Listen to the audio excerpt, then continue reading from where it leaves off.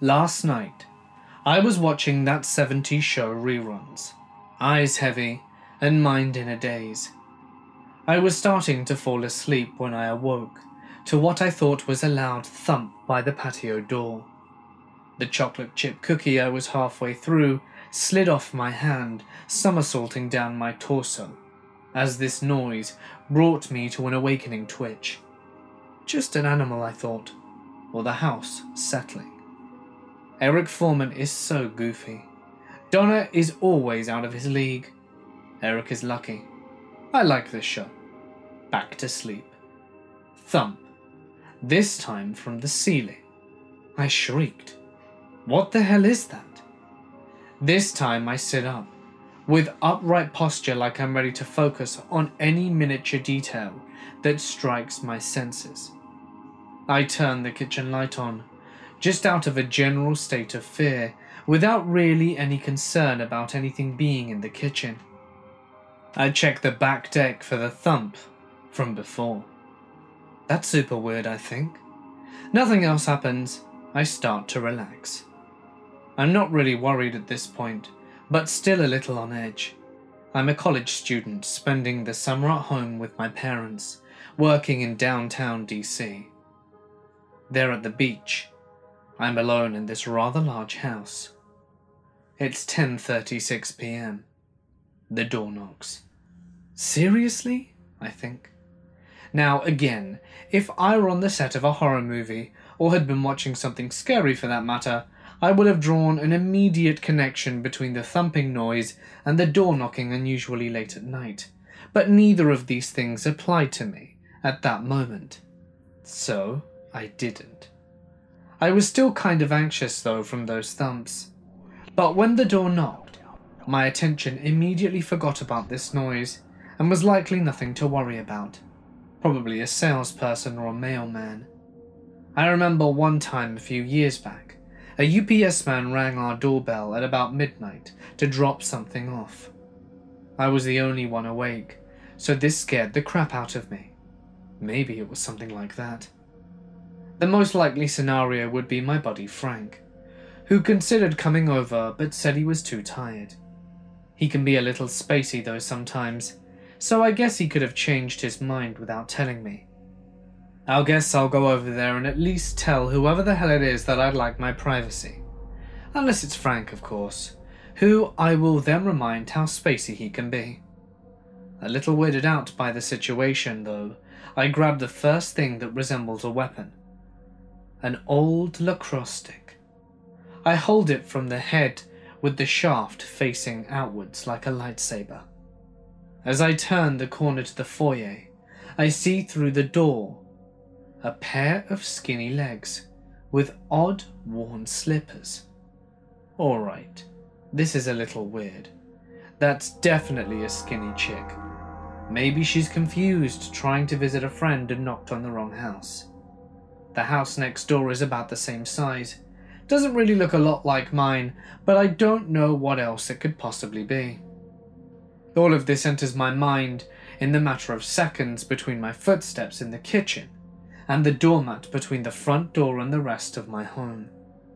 As I stand between the large modern door and whoever the hell is out there, I lean my lacrosse stick on the ground behind me, so this stranger won't see it. As my hand floats hesitantly towards the doorknob. I hear a voice coming from the other side of the door. No clear words, just light whispers. I assume someone must be with the slippers girl, because I haven't even opened the door yet, and as far as I can tell, this person hasn't even seen that someone is home, unless she's talking to herself. That thought didn't calm my mind at all, though. My hands stopped frozen in midair, about halfway between the rest of my body and the door, like I was about to do some weird robot dance move. I wait for several seconds, disturbed by the odd synchronization between my movement towards the doorknob and the voice outside. I wait longer. No voices. I take a deep breath. It's through my nose and out through my mouth.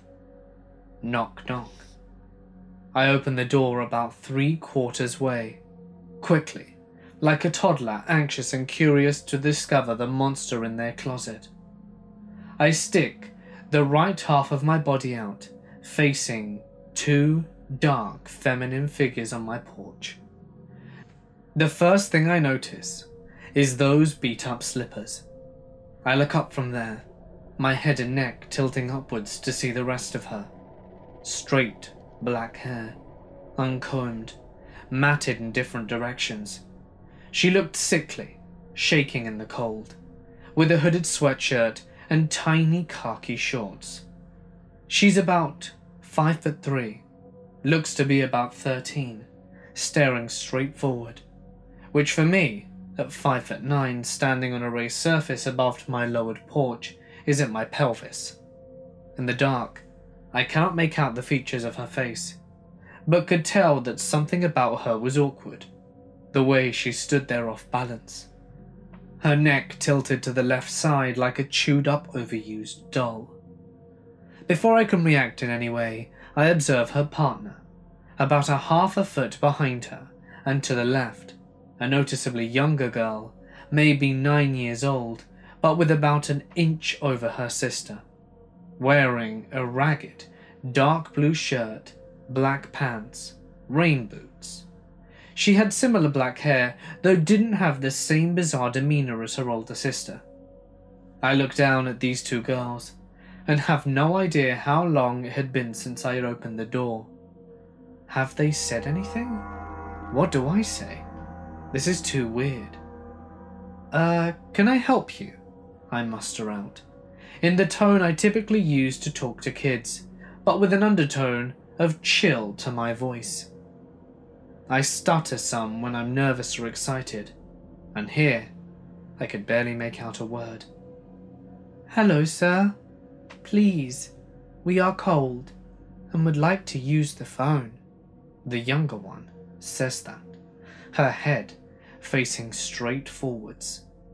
Her tone, it was like nothing I'd ever heard before. It was feminine, sure, but each word left her mouth fully independent of the other one, like they were just words being spit out of a machine and placed in the correct order by a third party. Almost like a robot. But she was clearly human, a young girl I'm speaking to, yet somehow very, very off. She didn't sound her age. She sounded at least 14 or 15, but she looked no older than 10. Why did she speak to me and not the older sister? What's going on? Is her older sister shy? Mentally handicapped? Am I dreaming? And what does this mean about using my phone? It was like she was speaking of a script and mixed up her question. Did she mean to ask something else? Not sure how to respond to this arbitrary question I manage. Ah, uh, well, I'm not sure what you're asking. Are you two lost? First, nothing just stares straight forward, directly ahead, as if with no visual awareness. Then the younger one. Please, sir, we are alone and need to call home. Let us in.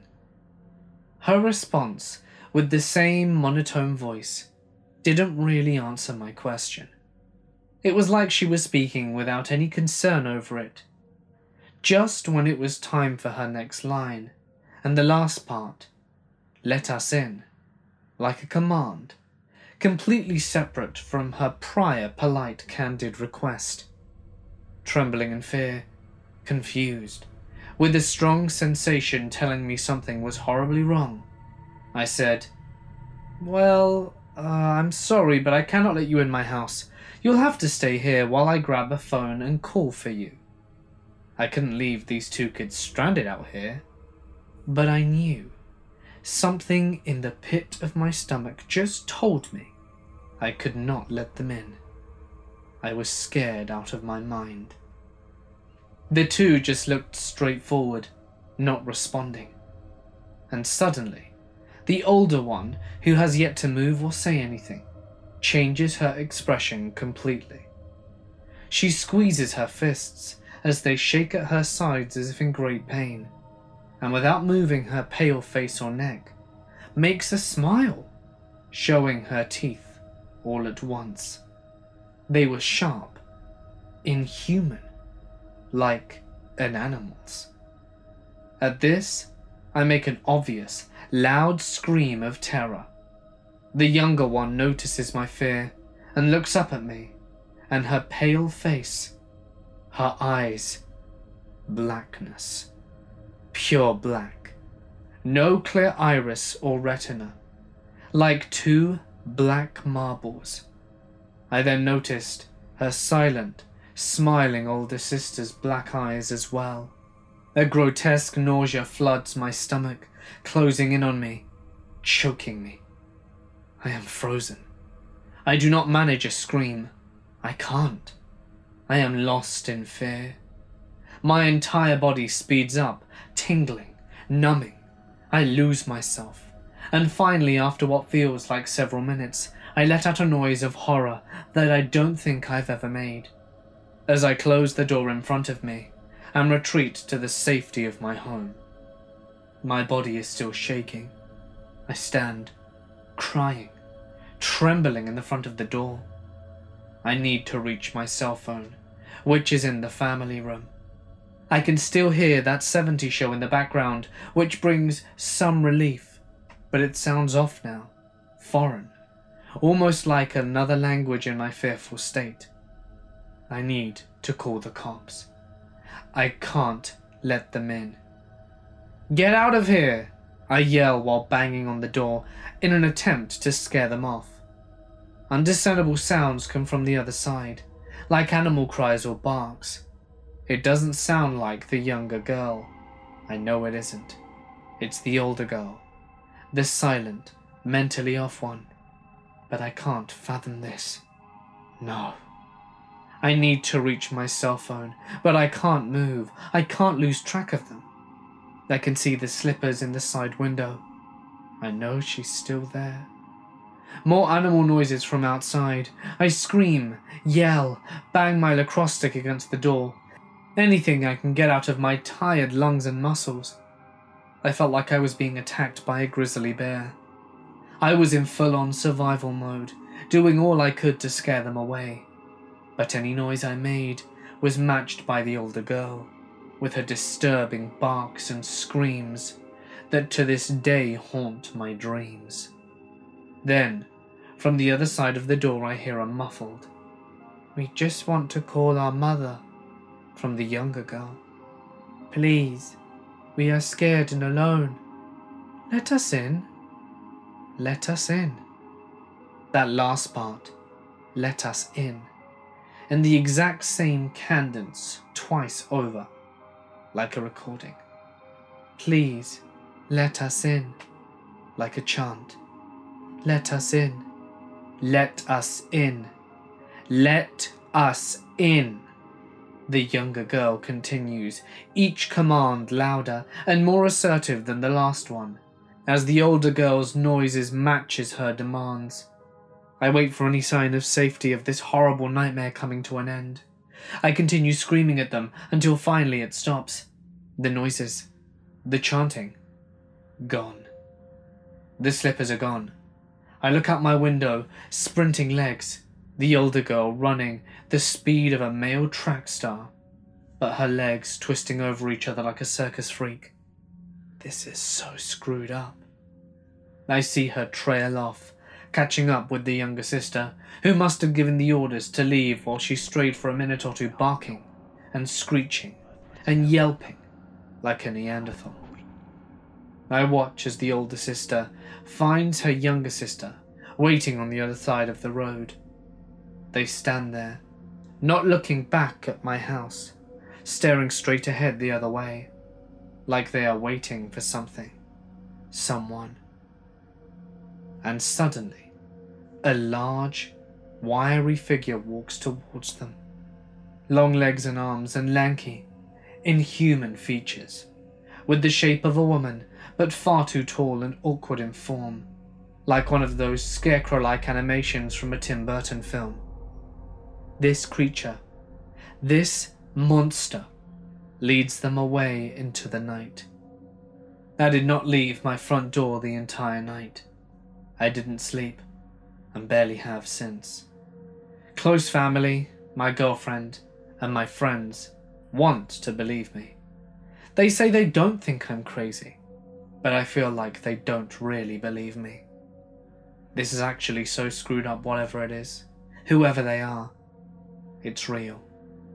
They're like these subhumans trying to take us, or have them join them. I don't know what it is.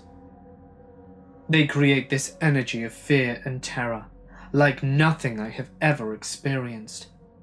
I lay awake at night, terrified of when I open my eyes, that that older sister will be outside my window, hanging from a tree smiling at me, barking, waiting for me to walk outside, leave the house.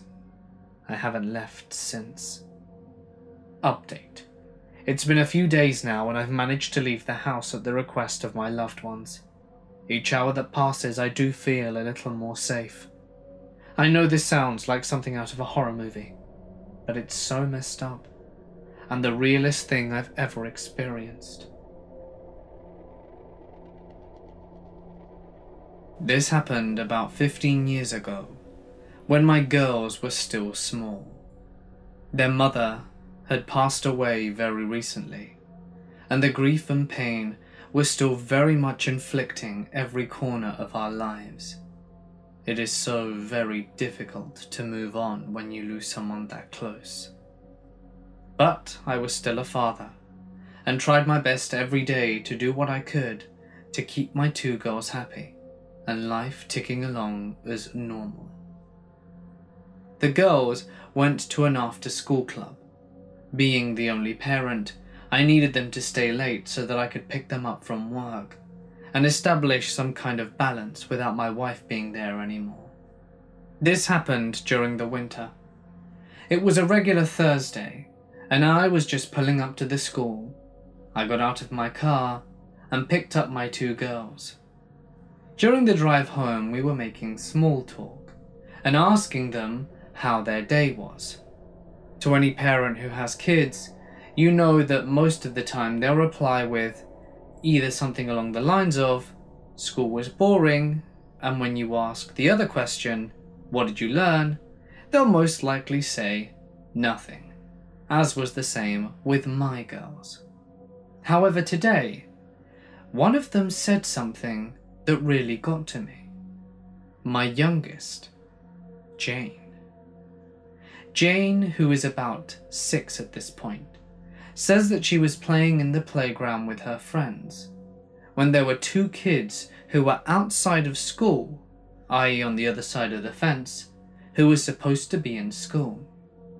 I asked her what she meant, and she said that there were these two kids who were about 10 and 7 who were just staring at all the other kids, wearing these thick grey hoodies, just watching all the children.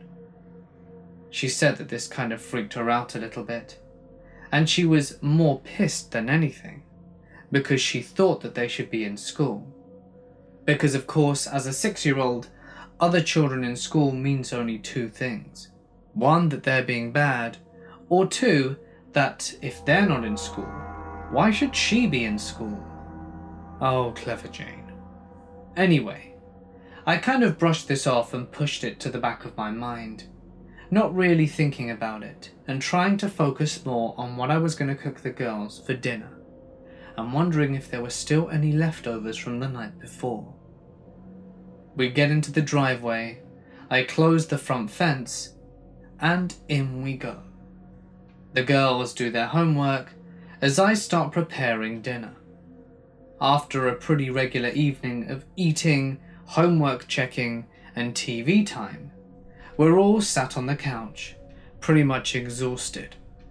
By this point, it's about 9 pm, and I am shameful to admit that I was starting to doze off in front of the TV. It was some kid show the girls wanted to watch, and it had successfully put me into a very deep sleep. The girls were running around, and I hear knocking, but I assume that it's just them playing. So I kind of close my eyes and get comfortable on the sofa again. After a few minutes, it definitely sounds like they're talking to someone. I press a button on the remote, and it tells me that it's already 10:15 p.m. Shit. These girls should be in bed. I turn off the TV, rub my eyes, and slowly start to get up. That's when my ears tune into something. At the door, the girls are talking to someone. Apparently, someone wants to come in. I rush over to the front door because I've already told my girls never to open it for anyone and to always ask me. Why the hell have they done it this time? They should know better. I rush over and look down. Thank goodness it's still closed. But through the window, it's very clear to see that my two girls are talking to these two hooded figures. They're not particularly tall, and I instantly assumed that they were children. I got a very nervous feeling just standing there, and I asked my girls what was going on. Jane was quick to pipe up. These are the girls from the school. I told you, Dad. I'm asking them why they weren't in school, but they just want to come in. This is a bit weird, I think. And then Emma chimes in. Dad, I'm scared. Don't let them in. I tell my girls to rush upstairs and go put their pajamas on and get ready for bed, and that I will deal with this. Obediently, they both run off. I look down and ask them what they want, hesitant about opening the door. Why are two kids awake at this hour, without their parents and wandering the streets? Part of me wanted to open the door, invite them in, get them warm and call their parents. But there was something just so strange about this whole situation. I can't even describe what it was, but there was a palpable feeling of dread within me. Something which should not be akin to two small children. Suddenly, the taller of the two speaks up. Excuse me, sir. We need to come in. We've lost our mummy, and we're so cold. Okay, I reply. Well, do you know her phone number? Perhaps I should get in touch, and she can come and collect you quickly. There's a pause, and a brief silence. It's almost as if they didn't hear me. Please, sir. We need to come in and call our mummy. Uh, okay. Do you know her number? I'm sure we can figure this out. Still no reply. Still eerie silence after I ask for her number. This is beginning to feel extremely dodgy. I'd read a story in the newspaper that people put these child baskets in the middle of the road and leave them as bait for people to come out of their car and then be attacked or abducted, or at least get their car stolen. I wondered if this was a similar situation, where children were knocking on doors in the middle of the night for unsuspecting parents to open their doors and then be the target of some attack. This was definitely giving me creepy vibes, and I was now more adamant to not open the door. I told the two hooded children as a last resort that if they wanted to, they can go around and open the back door and sit on the back porch to be safe. But I didn't want to let them in, and they could only do that on the condition that they gave me their mother's number, or I'd have to call the police and have them taken to the station so that they can find out where they belong. When I said that, there was silence again Please, Brian. We need to come in and use your phone. We're cold. The window on my door is completely transparent. Not one of those funky windows that you can't see out of properly. And when the tallest of the two looks me in the eyes, her eyes are pitch black. Keep in mind that we have a porch light, and it's very clear to see that there are no whites to her eyes, no colours, no nothing. Just two pools of infinite darkness staring up at me. I start panicking. This is otherworldly. This isn't right. I start to stutter and tell the two hooded children that I'm sorry I couldn't help them and to try another door. I quickly close the blind to our door window and walk away. I go upstairs and check on my girls. Both of them are in bed, trying to fall asleep, but they can't. Just like me, the tapping on the door and the calling of my name is getting quite chilling. The way my bedroom is positioned, I can look down my window and see directly onto the porch. And there they are, both looking straight up at me. I think this is insane. And I call the police, telling them that there are two children who have been dropped off or left or abandoned or something, and that someone needs to come and collect them. The person on the phone asks if this is a prank, and when I tell them that it's not, she says that someone should be there soon. It took all of 20 minutes for the sirens to start rolling down the road. I kept looking at the two hooded figures, on and off during that time. The moment I heard the sirens, did they start walking away. The police reached my house, and I saw them walking into the distance. I ran down the stairs and pointed in the direction that they just left in. The police quickly gave chase, but never found the two hooded figures. They asked if I was joking or not, as they weren't really sure if this was a real call.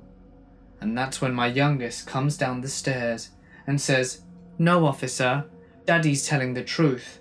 I saw them outside the gates of school, and then they came to my house. This little detail really got the officer, as he said that it sounded extremely dodgy. He patrolled the area and assured us that they'd keep a lookout to make sure that they didn't come back, and that if they did, to call straight away and to never answer the door. To this day, I'm unsure whether this is some kind of paranormal or unexplainable event, or perhaps a sinister plot on their parents' part to maybe rob the house, or worse, take me or my girls. I honestly don't know what to believe. It was only years later that I heard of other people who had encountered children with pitch black eyes, and it made me wonder if they are perhaps something a bit more supernatural than I originally anticipated. Nonetheless, I never do want to meet them again. This didn't happen to me, but to both of my parents. My mum was a teenager and was at the lake with her family. She was around 17. Her brother, of two years younger, their two cousins, and their two St. Bernards were there also. They were all walking along a paved path in a campground type area. The dogs suddenly started losing their mind, trying to run back the way they came, which was in the opposite direction from the cabin, but they wouldn't leave my mum and uncle. They weren't on leashes, but one of them actually bit my mum's shorts and began pulling her backwards like a bad comedy movie. That was totally unusual behavior, as both dogs were extremely loyal and rather protective, but were generally pretty chill and friendly. They were all just standing around and laughing at the dog's weird behavior, not understanding what was going on. Then my mum says it seemed like they all looked up at the exact same moment. One of the dogs started to whimper and cower like it was absolutely terrified. All four of them looked up at the trees to the right of the trail in front of them and saw a Bigfoot. It was extremely close. This was near dusk. It was maybe eight yards away and mind blowingly huge. My mum guessed it was anywhere between eight to ten feet. And all four of them are adamant to this day that it was nothing like a bear, and nothing else it could be compared to. The creature was staring at them, just inside the tree line, as it crouched down when they looked. Not like it was trying to hide or about to pounce. My mum said it was almost like a person who was trying to greet a dog that was shy. The moment was really brief, then it straightened up and crossed the path into the trees on the other side, eyeballing them the whole way. My mum says it didn't put off any antagonistic or threatening vibes, more just wary and almost forced casual. Nothing to see here, move along. Not that that stopped my mother and co from being absolutely terrified. As soon as they unfroze and coaxed the dogs to carry on, they all booked it back to the cabin. When they told everyone about it, some of the others, a few of her uncles, her other brother, and another cousin, went back around to look. The dogs absolutely refused to go near that path, though, and would freak out whenever my mum or her siblings tried to go in that direction again for the rest of the weekend. My mum is an extremely rational person and doesn't believe in supernatural things generally, and she is not a person who ever exaggerates or bends the truth. So there really isn't anyone I would trust more in a first hand account like this. Now, my dad. Not as honest and grounded as my mum, but with his own strong moral code about some things, and also not an exaggerator nor a liar. He is an alcoholic, so he did lie about stuff all the time, but he isn't the type to make up stories like this. My dad was an avid outdoorsman, and this took place before his alcoholism surfaced. There are few people as well versed about the area as him. He knows the woods, the animals, the weather, and the vegetation, and he can calmly identify the screams of cougars, dying rabbits, or deer all the native birds, and anything else that one might hear in the woods around here. He is also a very calm, unflappable person. I remember a time when I was around 10 when we were out hunting, and he calmly pointed out a cougar that had been stalking us for several miles. It took me forever to spot it, even with him describing its location. After that, he forced me to continue on, rationally explaining the cat's behavior in a regular level of speaking tone, knowing we weren't going to come across any deer. Anyway, about 15 years ago, my dad was hunting one of his usual areas. He was alone, which was typical for him. He was about four miles in from the logging road where he parked, and the sun had just barely come up.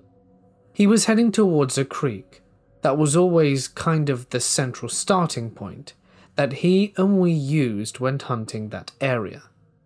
He was wandering around, looking for a sign and finding absolutely nothing recent, which is very unusual in this area, when he heard what he described as the most utterly terrifying noise he's ever encountered. Not having heard it myself, I might not be describing it accurately, but from what I remember he said, it was multi-tonal, as if two to three voices of varying pitches were screaming in disharmonic unison. If they hadn't gone up and down in pitch and started and ended simultaneously, he would have thought that there were several different voices. Every hair on his body stood on end, and he said he was overcome with a horrifying feeling of dread. The voice he said that it had individual pitches that were rather human like, and it screamed for longer than any human lungs could sustain. He estimated well over a minute. And it did not pause, nor did it happen again when it ended, and that the way the sound reverberated gave him the impression it came from very far away, but given the ear, splitting volume that didn't make total sense either. Anyway, he decided to get the hell out of there. The conundrum he faced was that the sound came from the same general direction as his truck. He told me that he rationalized that he would rather be found torn to bits by some mythical beast than die embarrassingly from getting lost in the woods, as it may happen if he went in the other direction. But also part of him was afraid he was misreading something, and that it was the sound of an animal in pain, which he couldn't stand the idea of, and if he did come across it, he could either help it or put it out of its misery. The last thing he told himself before heading back to his truck is that if it was a hunting cry, the animal who made it was most likely sprinting in another direction, and unless it ran into him and his .30 head on, they would probably not meet. So he headed back. He sprinted noisily, figuring that there were more of whatever that was out there, and that they already knew he was there anyway. He said he carried his rifle rather than slinging it on his back as he normally would have, rounded a chamber, and safety off. This, more than anything, is a testament to his fear. My dad was the biggest gun safety advocate I've ever met, and I'm a hunter safety instructor, so that's saying something. About a mile from his truck, he came across an area I picture a clearing, but I can't remember what he said, that smelled horrific. I remember him saying it was a mix of garbage and decay, and several other things as well. He was covering his nose with his shirt to get through, and he came across a pile of extremely fresh deer guts. That wasn't the sound of the smell that he would have known, but he said they were in a pretty neat pile, and it was at least two animals worth. It was guts and legs that looked to be almost torn off, not cuts, but no head or carcasses or pelts or anything. There was a good amount of blood smeared around, but no puddle, as would be typical of an animal that bled out by another hunter. He said that he took a little while while looking around, as he's a passionate anti poacher and was looking for evidence about what was going on. But that's about the time that his brain clicked and came to the conclusion that he may have interrupted Bigfoot's lunch, so he broke the hell out of there. He got to his truck and didn't take his pack off or even buckle up until he was off the mountain. I remember listening to him telling me and my brother the story when we got home from school that day and being baffled. I've heard stories of black eyed kids over recent years some of them are just downright creepy. I'm a sensitive. I do my best to be aware and focused. So when slash if I'm in danger, or loved ones are in danger, my intuition goes on red alert. With that being said, I'd like to share something interesting. During the most recent New Year's Eve, my son, myself, and my fiancée had a quiet night at home. We watched movies, made dinner, and my son went to bed fairly early, since he was only five. No wild party. We were marathoning watching Netflix while laughing and chatting in the master bedroom, well after midnight. At which point there was a confident, yet creepy, solid knock at our front door. We live in the country. It's a bit more remote, and all of our neighbours were friendly enough. But they wouldn't have knocked that late, as it would be perceived as rude. Our Jeep was parked in the garage, so it wouldn't be related to a car having the lights on or anything. I'm listening to this because that happened once. The keys to the Jeep in the house were securely hung in place. The fun time we were having quickly shifted to an odd feeling of confusion, coupled with unusual terror. It was really odd. We aren't fearful people. We simultaneously checked our smartphones for anyone stopping by and announced nothing, except a few well wishes from friends due to it being New Year's Eve and all. I got up to stretch and my fiance made sure I wasn't about to answer the door. Hell no, I said. We laughed uncomfortably. I joked with him, saying, Cause you're gonna do it. I teased him. He scowled and smiled, knowing full well he would have to normally. Why were we so on edge? We both remarked how odd we felt about the knocking and the late hour. In fact, we didn't budge from the master bedroom. Neither of us felt good about checking the door, and figured whomever it was had the wrong house. Then another knock. We were getting agitated, and that strange feeling of terror was back, strong as ever. I've never felt that way about someone knocking on the door before, nor have I not felt safe to answer. It was really odd. I'll paint a more clear picture. Good neighborhood. Our front porch light bulb needed to be replaced, so it was dark as hell out there. I thought it was really weird that someone would be standing out there in the complete pitch black darkness for three minutes knocking like that. I mentioned this to my fiance.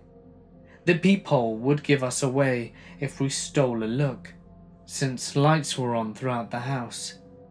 We didn't dare check. Why? That senseless feeling of fear was disabling. It made it so two grown very capable at defending themselves adults were essentially cowering in fear after two knocks at the front door late at night. What gives?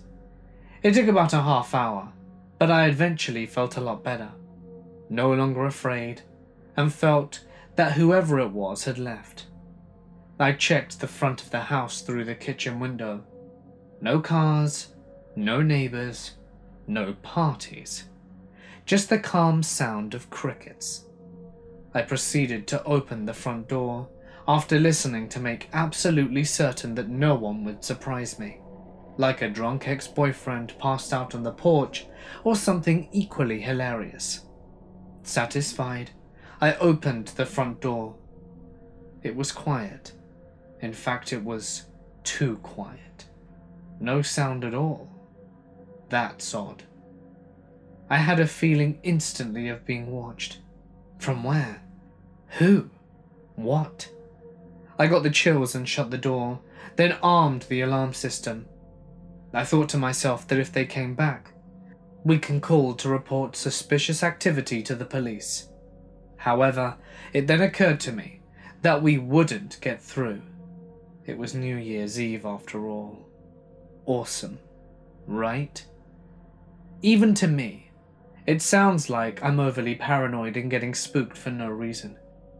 I would think the same had it not happened to me. When the second knock took place for a split second, I thought, oh crap, what if? Regarding the Black Eyed Kids stories I'd read. Mainly it was the remarkable senseless fear we felt that tipped me off. My son slept through it. No, I didn't share this epiphany with my fiance at that moment. We were too terrified to make any noise. He's legitimately a skeptic. He doesn't know anything about the BEK, and I wasn't about to go into it at the time. He shared there was no way in hell he was answering the door, and I thought his reaction was odd, especially since he didn't know any of the stories. During this ordeal, the doorbell wasn't used at all. What's strange is that the only light in the porch area would have been the illuminated button of the front doorbell. Why wasn't the doorbell pushed? There's no porch light out there. It had burnt out. It was at a height which needed a ladder to be reached. During the busy holidays, we hadn't gotten around to replace the bulb yet. It was on our to-do list of things. It was moved to the top of the list after this experience.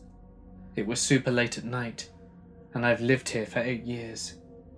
As an example, the only time our door was ever knocked on super late at night was a friendly neighbour letting us know, and this was months ago, that I had left my truck door open when we had unloaded groceries.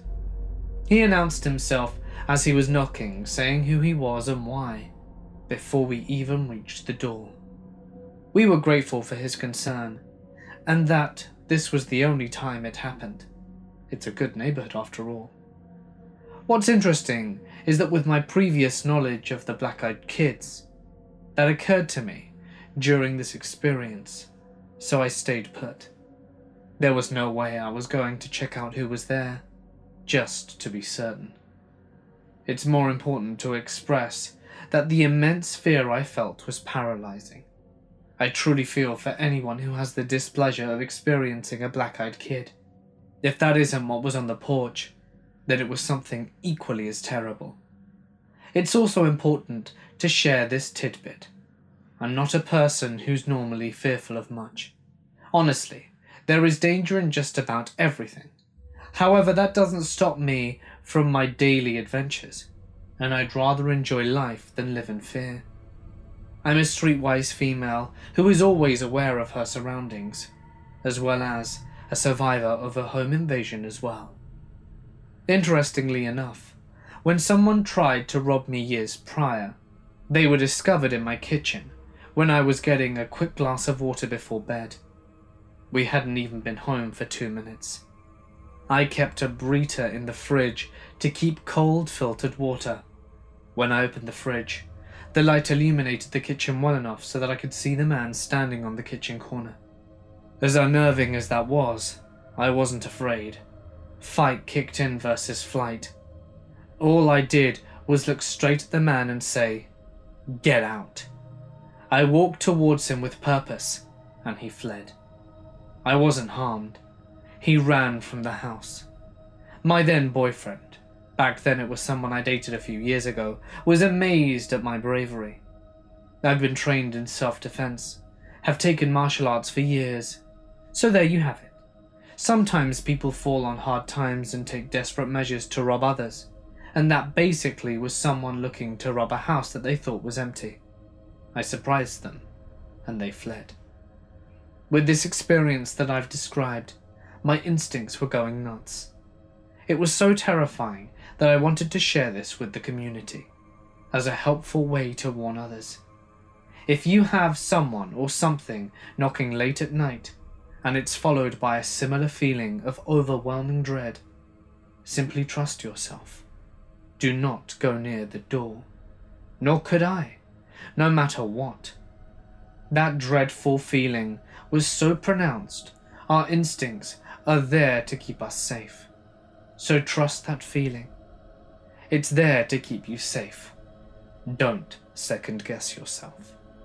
We have since installed a security camera and restored the porch light.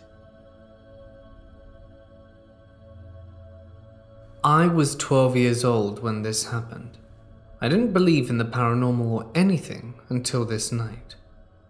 At the time, I was living with my aunt and her kids in Jacksonville, Florida. There was this huge rainstorm going on outside that night, and at 3 am, all the power in the building completely went out. I wasn't afraid of the dark, so I slept in the dark. But I was awoken by the sound of my cousin, who was screaming for me and my sister to wake up and come downstairs. Being the kid I was, I didn't understand why he would be screaming for us like he was, and I was four to five months older than him. I didn't fear anything, but he always acted tough. My cousin was around six foot tall and was screaming like a scared child. It would have made sense if me and my sister were scared, because we both lived in a state we didn't know. I slowly started waking up, aggravated by being awoken by someone screaming downstairs. I could slowly hear the front door open and knew my cousin was standing in the doorway by how close he was to the stairs. Me and my sister share a room where our room is close to the stairs that leads to the first floor of the apartment. I rolled over from facing the wall to where I would be facing the closet that has sliding doors to access the clothes. I peek out the window to see it's raining so hard the world looks grey. I hate the sound of thunder and I fear seeing lightning, but I love the sound of rain. It always has a way of calming me when I was either stressed or waking from a nightmare. I used to have horrible dreams of being attacked by people with no faces.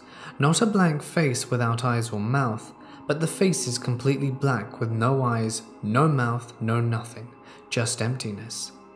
It was always scary to have the dreams that I'd wake up crying. I stare out the window just thinking of how I wished I wasn't there, and glanced towards the dresser with the clock showing 3:05 a.m when something caught my eye. I glanced towards the closet, where I saw a black shadow figure standing in the doorway.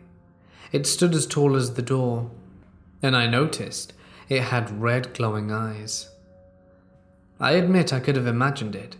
I do have mental health issues from abuse sustained by family, and PTSD, psychosis, and borderline personality disorder, as well as hallucinations. So I could just easily conclude that it was all in my head, and the hallucination episode was making me feel uneasy. But then I realized I couldn't be imagining, because when I imagined, it usually only stayed for a second or two. But this thing persisted and was still standing in the doorway. I was just laying in my bed, staring at this creature, just thinking why it was here and what did it want. I was frozen in my place by fear. I tried collecting enough courage to ask what did it want, but before I could raise my hand towards its face where a mouth would be, but like I said, the only thing there were its eyes. This creature was telling me not to speak. Could it read minds? Did it know what I was going to ask? But my mind was set. I wanted to know if I was going to die. Before I could ask this creature, it shook its head and I relaxed. But not long after, it disappeared. I laid in bed thinking almost on the verge of tears. You could call me weird, but this situation made me sad. I couldn't help but think that Death himself had wanted me, but then probably didn't, because no one wanted me. That's how I felt at the time. I got out of bed after collecting my tears, telling myself who cared who wanted me or not? I'd prove it to everyone I didn't need them. I wiped my tears, woke up my sister, telling her to come on, and that our cousin was scared. After we leave our room, I look back to see if maybe it was behind us, but the room was empty. When I went downstairs, I asked my cousin if he saw anyone in the house, and to my surprise, he just said he didn't like the dark. We went to a neighbor's until our aunt's mum came back home. About 6am, she comes home to find the apartment empty and find us at a neighbor's. She didn't want me hanging out with them because she didn't like me making friends.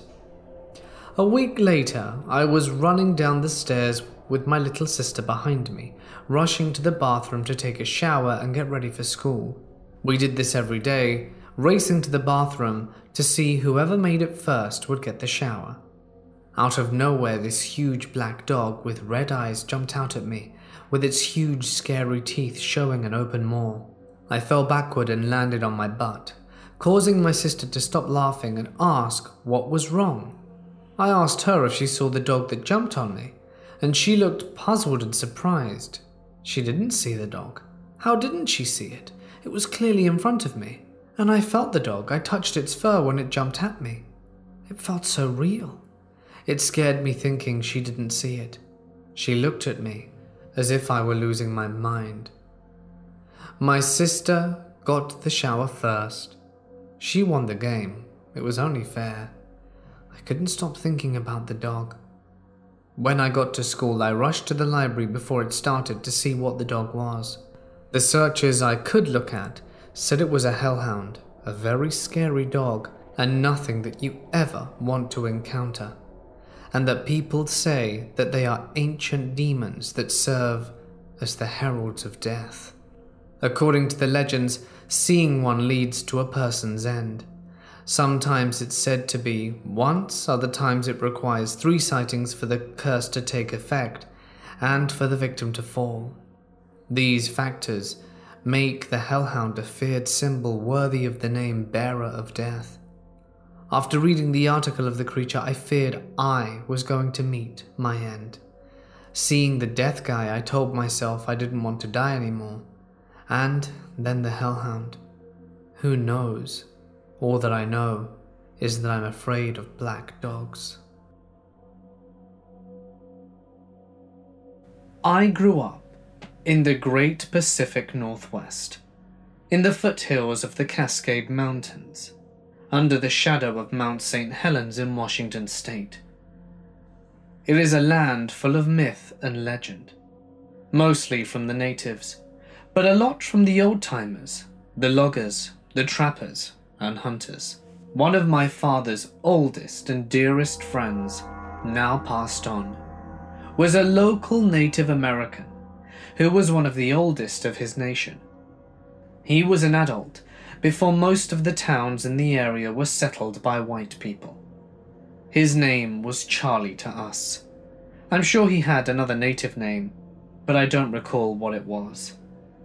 Charlie used to sit us down, kids and adults, and tell us stories. Some of the stories were tribal legends. Some of them were things he swore happened to him in the woods. And some of the things said by the other men and women of his tribe were the fur trappers and miners of the late 19th century. As I got older, I began to realize that Charlie wasn't pulling our legs on some of these stories. He genuinely believed them. And a few of them happened to me as I would wander out into the woods and investigate. The most obvious and easiest to prove was the ridge light or mountain lights.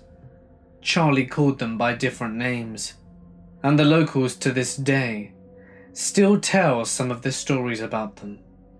The lights, according to Charlie, had existed as far back as man had.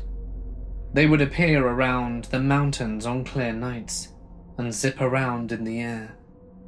One of the local legends said that the lights were the spirits dancing and playing. I first saw the lights when I was a kid, and several times since then. To me, they fit the exact description of a classic UFO. Lights that appear to be some form of aircraft that flew in manners impossible for current aircrafts, incredible speeds, and course corrections. The last time I saw the ridge lights was in the mid 90s. I have noticed a distant decrease in reported sightings of them since then. But for a while, the western foothills of the Cascades were a hotspot for UFO sightings. Speaking of UFOs, it goes on a bit further than just seeing the lights. When I was a young kid, I woke up in the middle of the night in the little farmhouse we lived in to bright lights outside. They were multicolored and flashing, like police cars, except I seemed to recall they were green as well.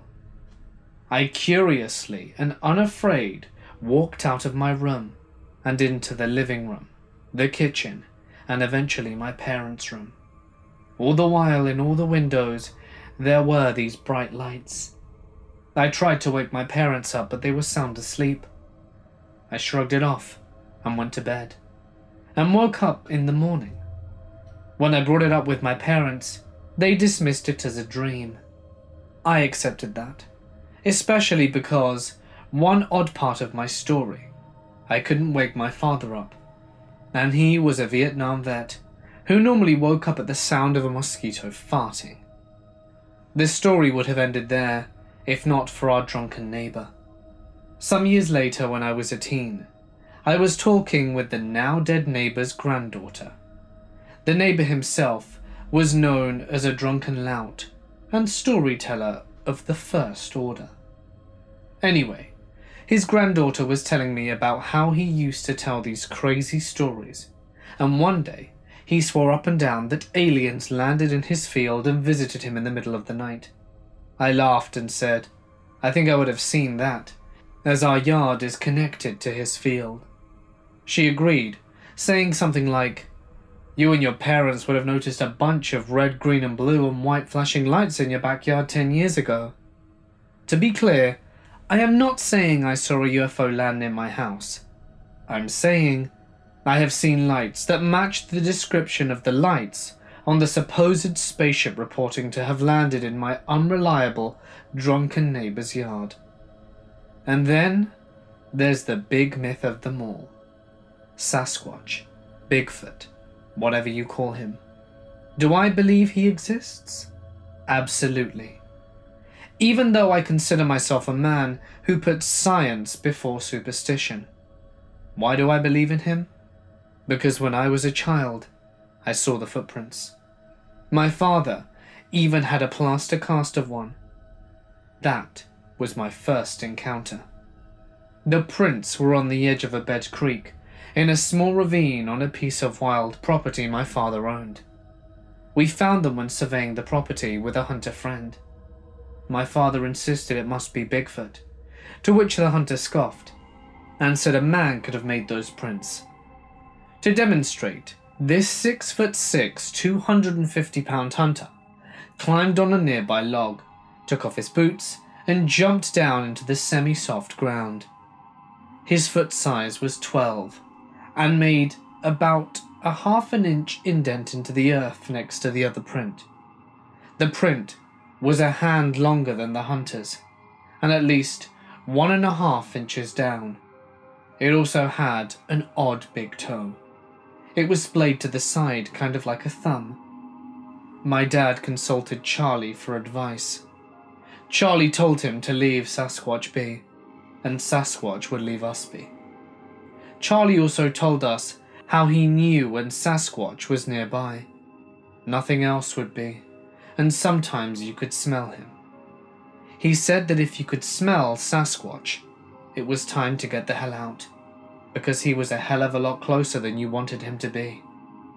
Anyway, as the years went by, we learned to just hike out of the woods if they got dead quiet and we didn't see any signs of other animals. Only twice do I think I smelt him. Both times it was a heavy, musty, almost mouldy odour, like old sweat or wet dog. The second time I was with a girlfriend.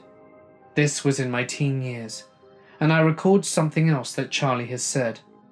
Never go into Sasquatch territory with a woman who was on her period, because he could smell that and would track her, according to legend, to find a mate. It was the first time I ever asked a girl if she was on her period. She was. Needless to say, quite embarrassed to answer that it was that time of the month. That was when I told her we needed to leave now, and we started out of the woods. We both swore we heard sticks breaking and branches rustling behind us the entire way out. And we both had that terrifying pit in your stomach you get when you know that something is watching you. I grew up in a small coastal Oregon town. Nothing ever happens, and it's always quiet. From my childhood home, you could look one direction and see nothing but ocean in the distance, and in the other, forest covered mountains. You would hear stories from old people sitting around campfires after a few beers that had loosened their tongues about the stuff they'd seen on the ocean or out in the deep woods. Loggers would frequently tell about Sasquatch and footprints the size of a man's chest, or the howl that sounded like nothing else a seasoned hunter had ever heard. I was a hard kid, hard life, hard attitude. I trusted no one, didn't believe anything unless I saw it myself, and none of these tales really did anything for me, other than give me a little chuckle. I was a pretty poor kid and had nothing but hand me downs and government food and stuff. So I learned, like many folk in the area, to supplement our food by foraging and hunting. I was probably around 12 or so, and I was on foot after about a three hour hike into old forest growth, with just my dog and I going up to our chanterelle mushroom patch to pick for the day. Being that deep was not uncommon for a boy my age, as that was just what you did.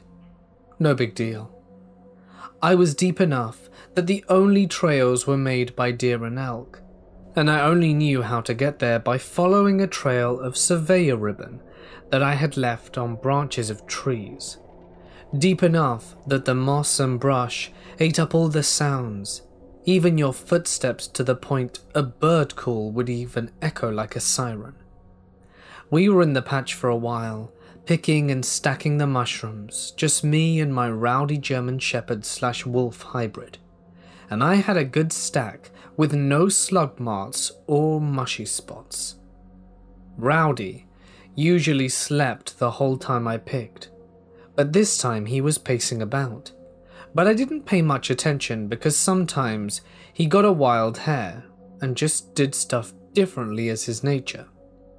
All of a sudden, while I was picking, he ran up to me and whined like he did when he needed to pee in the mornings and began circling me. And that's when I felt it. You know the feeling when something is definitely watching you, but you can't tell from where or what it is? The hair on my neck stood up, and my skin started tingling, and that flight reaction in my gut told me to run. But I didn't. I listened. I didn't hear anything except Rowdy whining for a few seconds and went back to filling my pack. A bit quicker now, as I had seen cougar and bear feces in the area, and bears will eat mushrooms. By this time, Rowdy was visibly freaking out, and it was freaking me out, but I was determined to go home with my harvest. All of a sudden, Rowdy just took off and left me. He had never done such a thing. And then I heard a branch break behind me. Not a twig, a branch, and another. I ran as fast as a white boy alone in the woods could, and then the thing was pacing me. I could hear it off to my right and then behind me again to my left. I knew that there was a clearing up ahead where I could follow the power lines down and ran even harder. When I got to the clearing, Rowdy was there with his hackles raised and growling as he started barking and snarling like he could have a while back. Then it screamed. It wasn't an elk or coyote or anything I've ever heard before. And it was so loud and guttural and close, I screamed back out of pure fear and nearly pissed myself on the spot. The dog and I started running again, and I didn't hear it following this time. We made it home, and I told my parents, and they laughed at me for being a little wuss said it was probably an elk or something, and to stop being silly. So I dropped it and only told the few people that shared similar stories with me. We went back a few months later, and the whole patch had been rooted up, like an elk got to it, with their racks. So maybe it was just that. But I don't know. Today was a day like any other day. I woke up at noon got showered and dressed, cleaned out my room. My mom was out shopping, and my dad was up on some land we owned trying to clear out the brush. My younger sister was at school. Today, she had a choir concert, so I was searching for something nice to wear. The day felt unusually long. It's almost like I was anticipating something. I felt nervous, but peaceful. My mum came home, so we went for a walk with our dog and talked as usual. She told me shopping was lonely without me. I had a bad day yesterday, so she wanted to let me sleep. I put my arm around my mum and hugged her with a smile. We talked about my fears of college, which I'll be starting in August. We talked about things we're looking forward to during the holidays. We talked about things that make us sad, things that cheer us up, songs we like, old musicians, and how much Steven Tyler looks like Mick Jagger. And had a laugh about that. I couldn't seem to shake my feelings of anxiety. A few hours had passed, and my sister had come home. We were in her bedroom so that I could help her figure out what to wear.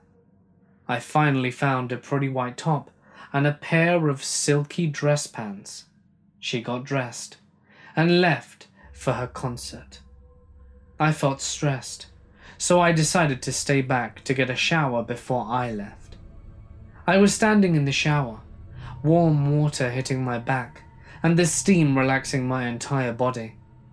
I was stepping out when I was suddenly filmed with an overwhelming sense of dread and worry. I felt dizzy and disoriented. I tried to shake the feeling, so I blow dried my hair and put on my dress. I heard knocking at the front door, but I felt sheer terror. I didn't want to go downstairs, and I didn't want to answer the door. My dog started growling and barking and scratching the door. Hello? I need to use your phone. At this point, I was obligated. I ran down and opened the door. I left the storm door shut and locked it, so I was able to talk through the next scene. It was a girl of about 13 with long blonde hair, wearing a bright blue hoodie and torn jeans. Next to her was another little girl of about six or seven. She had short blonde hair and little above the shoulder length and was wearing a pink dress with flowers on it. Both were looking down, so I couldn't see their faces. Uh, hi. Can I help you girls? We need to use your phone. We're not from around here, and we lost our mother. She's worried. The older girl mumbled, still looking down. I felt compelled to let them in, but I wasn't willing to risk anything with that horrible feeling I had. I'd heard so many stories about the black eyed kids and researched into it a lot.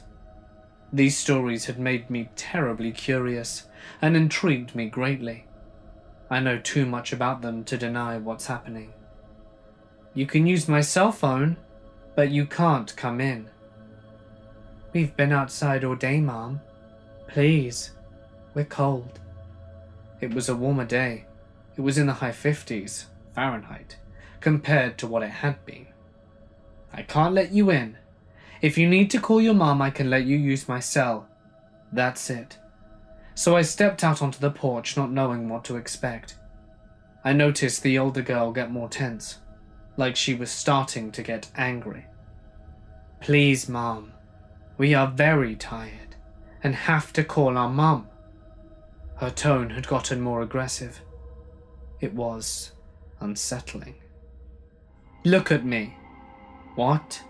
No. We need to use your phone. I said, look at me. If I can't see you in the eyes, I won't let you in. They both looked up at me. They had large, dead black eyes I felt as if my soul was being drawn into them. My heart sank. These were the things I'd read about. The soulless, violent children were standing in front of me. I felt so compelled to say yes. I almost felt guilty for being so aggressive in my response, but I knew what they were. I can't let my compassion overtake my common sense. What are you? I know those eyes. What are you children? What do you want? She said nothing. She tilted her head and stared directly at me in the eyes. It felt almost hypnotic. It's a feeling I can't really explain. They looked at each other and smiled. Ma'am, we're two girls who need to call their worried mother. Please. This is the last time I'll ask nicely. She kept that twisted smile on her face and just glared at me. I backed into the door, opened it, and slammed it in their face. I locked the door and walked through the house in a panic, making sure all the windows and doors were locked. I heard knocking on the window. I backed myself against a wall and peered over just enough where they couldn't see me. But I could see them. I crawled onto the floor to another room. They then came to that side of my house and began knocking on the windows of the room I was in. It's like they could see me, no matter how much I tried to hide. In a panic, I called the police. This is Carlisle's daughter. I need someone. There are some girls knocking on my windows and they won't go. I told them I can't let them in. Please come. I'm scared. My dad is good friends with a lot of the cops, so they know who I am by my father's name. My dog was still barking furiously. I'd honestly forgotten he was even there. His barking shook me back to reality. The cops soon arrived and told the girls to leave. They actually walked away. I wasn't sure what to make of that. I've never heard of them just walking away. Maybe they have their own fears, cops being one of them. The cops looked shocked when they first started talking to the girls, but eventually got them to leave. I realized I was really late to my sister's concert, and in a panic, grabbed my shoes and everything and drove over to the school. On a positive note, the concert was great. The chorally sounded beautiful, and I was terrified to go home after. With reason, of course. I truly cannot make heads or tails of my experience. Let me tell you though, if you ever run into these children, you'll regret answering the door. Whatever you do, don't look into their eyes. It's like they have some sort of hypnotizing power. You'll feel dizzy and sick. You'll never forget your run in with these inhuman children. I've had several Bigfoot encounters within the city limits of Tampa, Florida. I know it sounds unbelievable. I've lived near the Hillsborough River, and after my encounter, I looked at my area on Google Maps. To my surprise, there is a lot of wooded area along the river leading out of the city. For about two weeks straight, I felt like I was being watched and stalked. Monday through Friday, I left my studio apartment at 5am to catch the bus to work. I walk to the bus, and it is on an extremely dark road that is alongside the river, where the entrance to my apartment complex intersects with this road that's wooded. If you know Florida forests, then you know it can be quite intimidating because the forests are very dense I walk left from my community onto the only sidewalk. Across the street is the waterfront to the river with thick vegetation. I walk about a quarter of a mile before there is a house on the riverside on the street. On the left, I do walk past two fenced in apartment communities. I wanted to give you an idea of the terrain. When I felt like I was being stalked, I took off my Bluetooth headphones to listen. I heard the occasional twig snapping, and this reassured me that my spidey senses were correct. This continued for two weeks. I was a nervous wreck. I had been listening to Bigfoot encounters on YouTube for a while. I was learning all that I could about them, but I never thought that I could be stalked by one in Tampa. Until Monday, on the third week, I felt like I was being stalked. As soon as I turned left onto the sidewalk from my complex, do I hear a loud rock clacking. I don't listen to my headphones in the morning anymore. I pretended to be listening to them, and when I heard the rocks striking each other, my heart skipped a beat. Then I heard a familiar Bigfoot yell that I heard from a YouTube video. By this time, my heart was pounding. I almost crapped myself. I almost turned around, but stopped myself. I wanted to run so badly. Somehow I was able to barely flinch. I kept my stride, acting like I didn't hear a thing. I thought I was going to have a heart attack. As if what happened wasn't enough, I literally felt a rock land behind me. It must have had some considerable weight to it, because I felt the impact through my shoes. I was terrified. I thought I might not make it to the bus stop. Reflecting back on the encounter, I believe there was more than one during this. There might have been a juvenile there as well. They get aggressive when people get too close to their offspring. And the next morning, about the same time, I could hear it having a massive temper tantrum. It was letting out the loudest and longest yells I've ever heard. I can only imagine how homeowners felt and after that, I couldn't walk that way anymore and had to take a different route to work, which meant I had to catch the bus an hour and a half earlier. Every once in a while, I would walk that way to get some smokes from the gas station at around 10 pm. I'd bring my pitbull, and we would both hear the occasional twigs snapping. She kept a constant eye over by the river.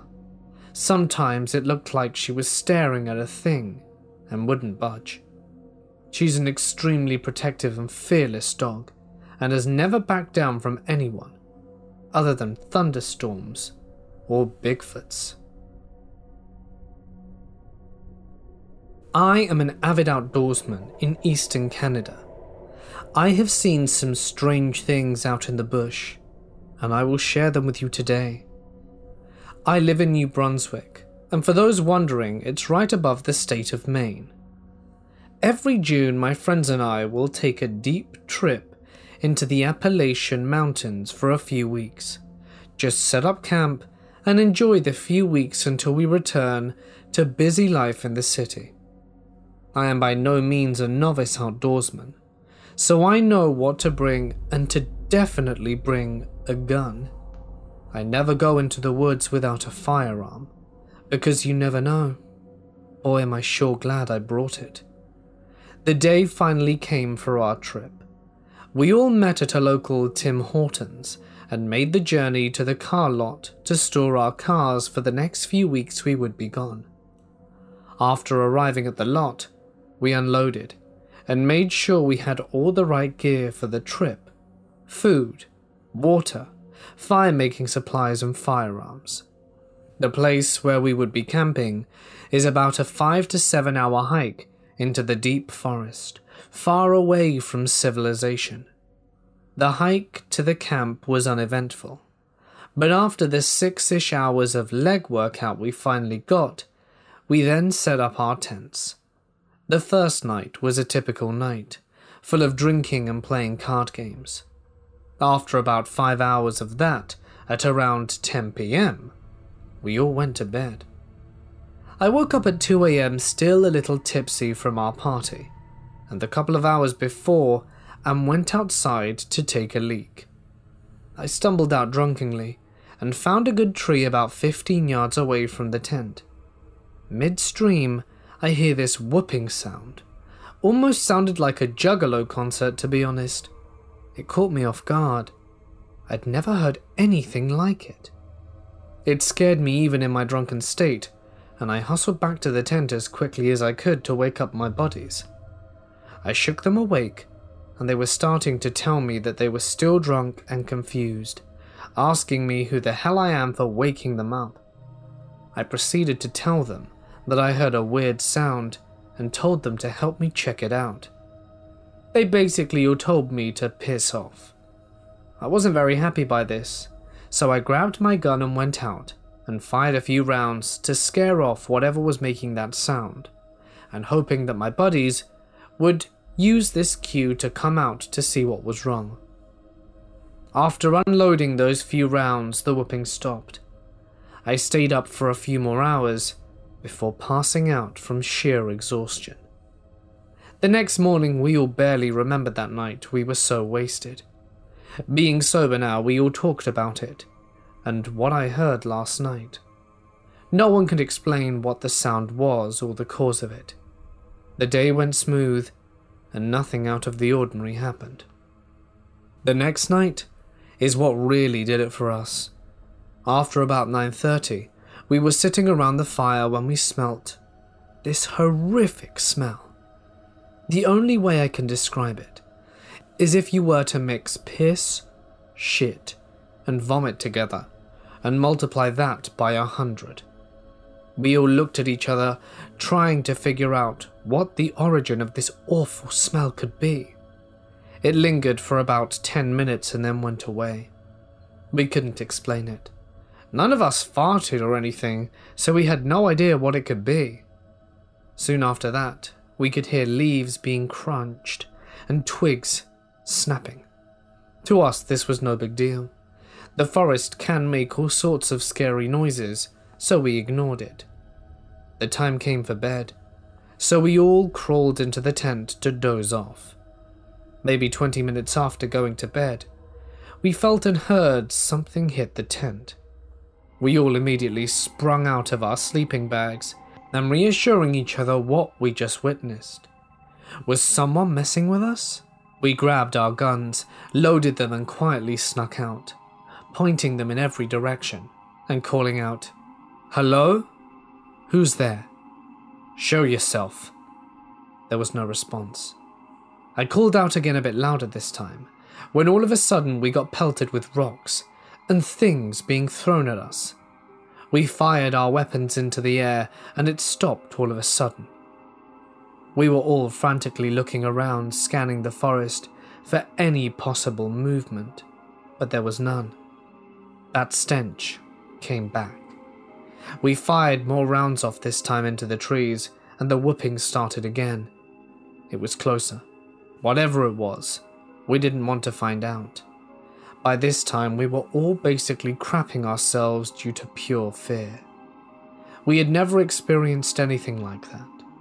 I saw some movement in the distance, finally, to which, after spotting, I yelled at it and fired. This strange scream or roar blared our eardrums. It was sort of like a sound that if you were to combine a hyena and lion would make. It lasted for only a few seconds, and the sound of branches being broken and leaves getting stomped on faded away into the distance. We stayed up the entire night and headed out at dawn. Whatever it was, I am positive it was some kind of Bigfoot. I am also 100% sure that I hit it with my shot. I never saw its features, so I could never really identify it. But I will forever wonder what that thing was that night that scared us to the bone. Needless to say, we will not be returning to that spot again. I am an atheist, but I'm open to the ideas of ghosts. However, I can't explain what happened. Summer of 2017, I'm a 19 year old male working in Dubrovnik, Croatia, as a booker for a tourist company and a bartender slash animator for the same company's pub crawl boat party. My employer was paying me and my three roommates accommodation. But this cheap guy placed us in a village called Uskoplje, which was 21.3 kilometers away from Dubrovnik. This village had six houses, not including our own, and less than 15 people living there. The biggest issue was that no bus passed there since it was atop a hill, so you needed to hike around downhill to this other village where the bus stop was built. The hike down to the village was 45 minutes, half hour on the road and 15 minutes in the village, and the bus ride to Dubrovnik was another 45 minutes. One night I was working alone and was coming back about 2 am from the boat party, making my way back from the bus stop to our house. I stepped onto the road on the left of the village with the bus stop and turned on my phone flashlight to light the road since there were no streetlights. This was vehicles only, no pedestrian path, and I turned on the flashlight since this area was known for venomous snakes, and I wasn't willing to deal with that. I'm halfway there when all of a sudden I heard a howling behind me, a wolf like howl. First, there are no wolves in this part of Croatia, and secondly, my father is a vet, and we've had a lot of dogs, mostly German Shepherds, so I know what a big dog sounds like. And this dog's voice was deep. I slowly turn around and find this massive dog staring at me, roughly 20 meters away, growling, barking, and howling, but not moving a muscle. I followed his example and stood there for half a minute, just analyzing the dog. I had never seen this breed of dog. It must have been twice the size of a German Shepherd, let's say as large as a Great Dane, but its head was definitely more similar to a Doberman or Belgian Shepherd. Also, it was completely black. There was something completely off about this dog. I'm not gonna say it had an evil aura, since I don't believe in that sort of thing but I simply had the feeling that this was something of a demonic dog, or something like that. I can't explain it, but for some reason, I felt like the least of my worries should be this dog biting me. Take note, at this point we were standing in the middle of a road, in the middle of the night. There aren't a lot of cars that pass here at this hour, but I wanted to get off the road either way. After staring each other down for about a minute, I slowly, without turning, make my way to the house. After I walked about a hundred meters, the dog stopped the growling, turned away, and left. I picked up the pace and was just only a few minutes away from home when I heard a growl. This time it was meters away from me. I turned around and the dog was less than three meters away. If I had made a single step, I could have reached out and petted him. Once again, this dog was growling, but not attacking me. It did the regular attack mode posture with its tail up, legs widened, ears up, and teeth showing. We stared at each other for another minute. The dog didn't move a muscle, and neither did I. The beast was as large as me, at least, and weighing at least 60 kilograms, and was definitely as large as a Great Dane. Once again, I slowly start making my way home backwards, and the dog doesn't let up. But it doesn't follow me. I made my way home, and the barking and howling stopped as I closed the door behind me. I tell my roommates about it, and they say they'd never heard anything, even though the dog was relentlessly barking and howling just 200 meters away from the house while they were awake with no TV nor radio on in the room. I asked the neighbors about the dog. They said the same thing, and added that no one in the village owns a dog. My roommates and I agreed that we should never let anyone go home alone at night because of this scenario. We went on to investigating the surrounding area and never found anything.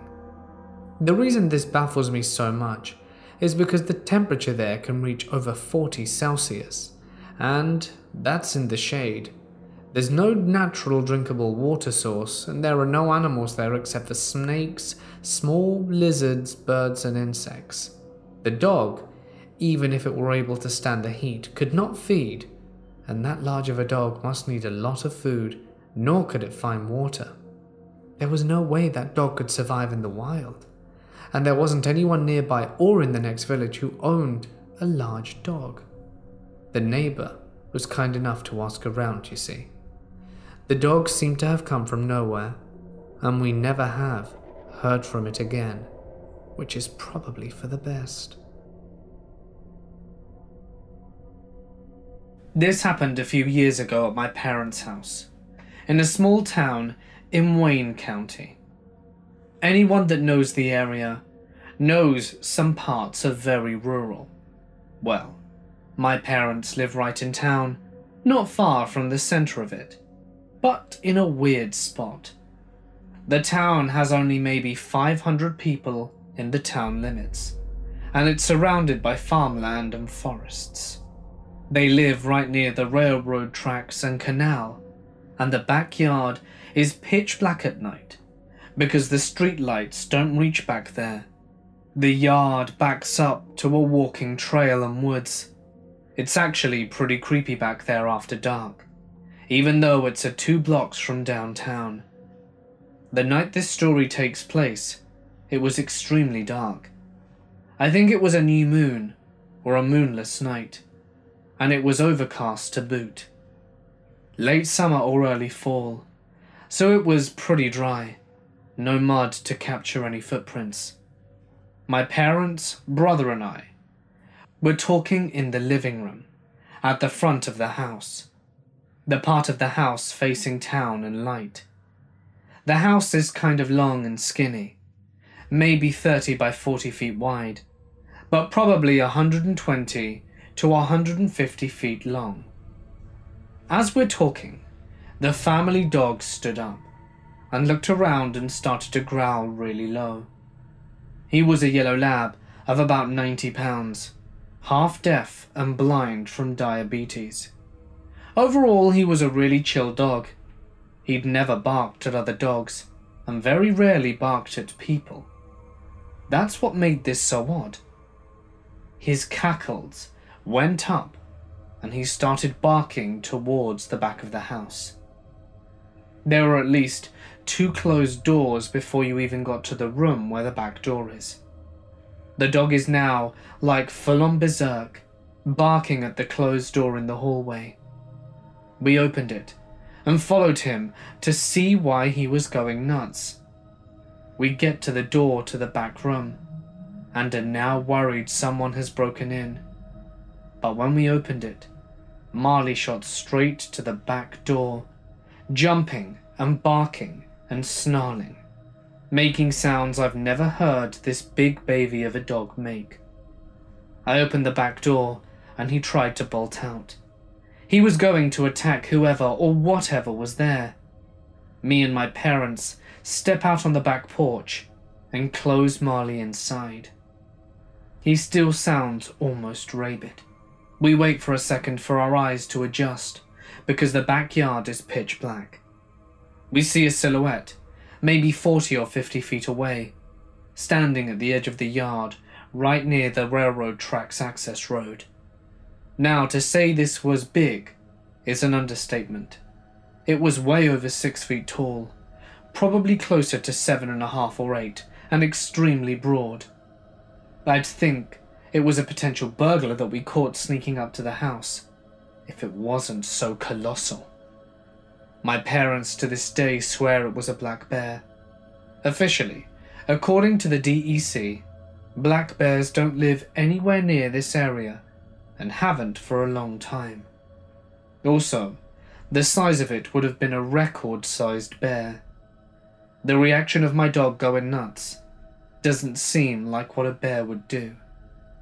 After we had put Marley inside, it just stood there, upright, for about two minutes, before we decided it was best to go inside, as the hairs on the back of our necks were standing up.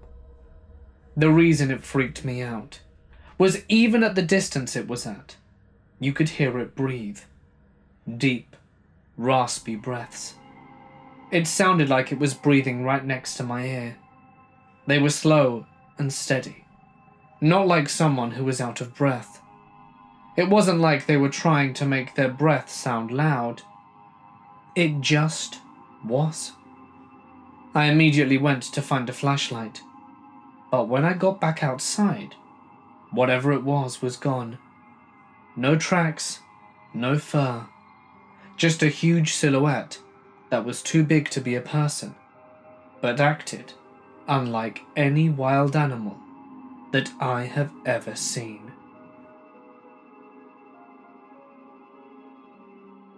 It was a quiet and damp night in Arcata, California. In this small town, not much happened. Low crime rates, everyone knew everyone. If there was a roaring party meant to happen, every team in town knew. And if someone wasn't from there, we could smell it. It was oddly dark tonight, completely devoid of light.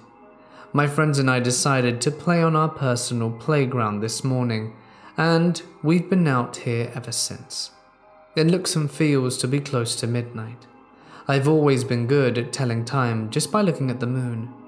Tonight was a full moon, actually, my favorite of the bunch. Marie, come on, we're going to play hide and seek, my best friend yelled from across the field. I didn't even notice that I had been staring at the moon for quite some time now. Well, we had a hill that connected the playground and the woods, and if you went into the woods, you'd soon find yourself in your neighbor's backyard, so the hill created a wall between us and the neighbors. As kids, we made a sort of dare to see who had the guts to jump the wall and into the playground. I, of course, always won. Well, me and Vanessa.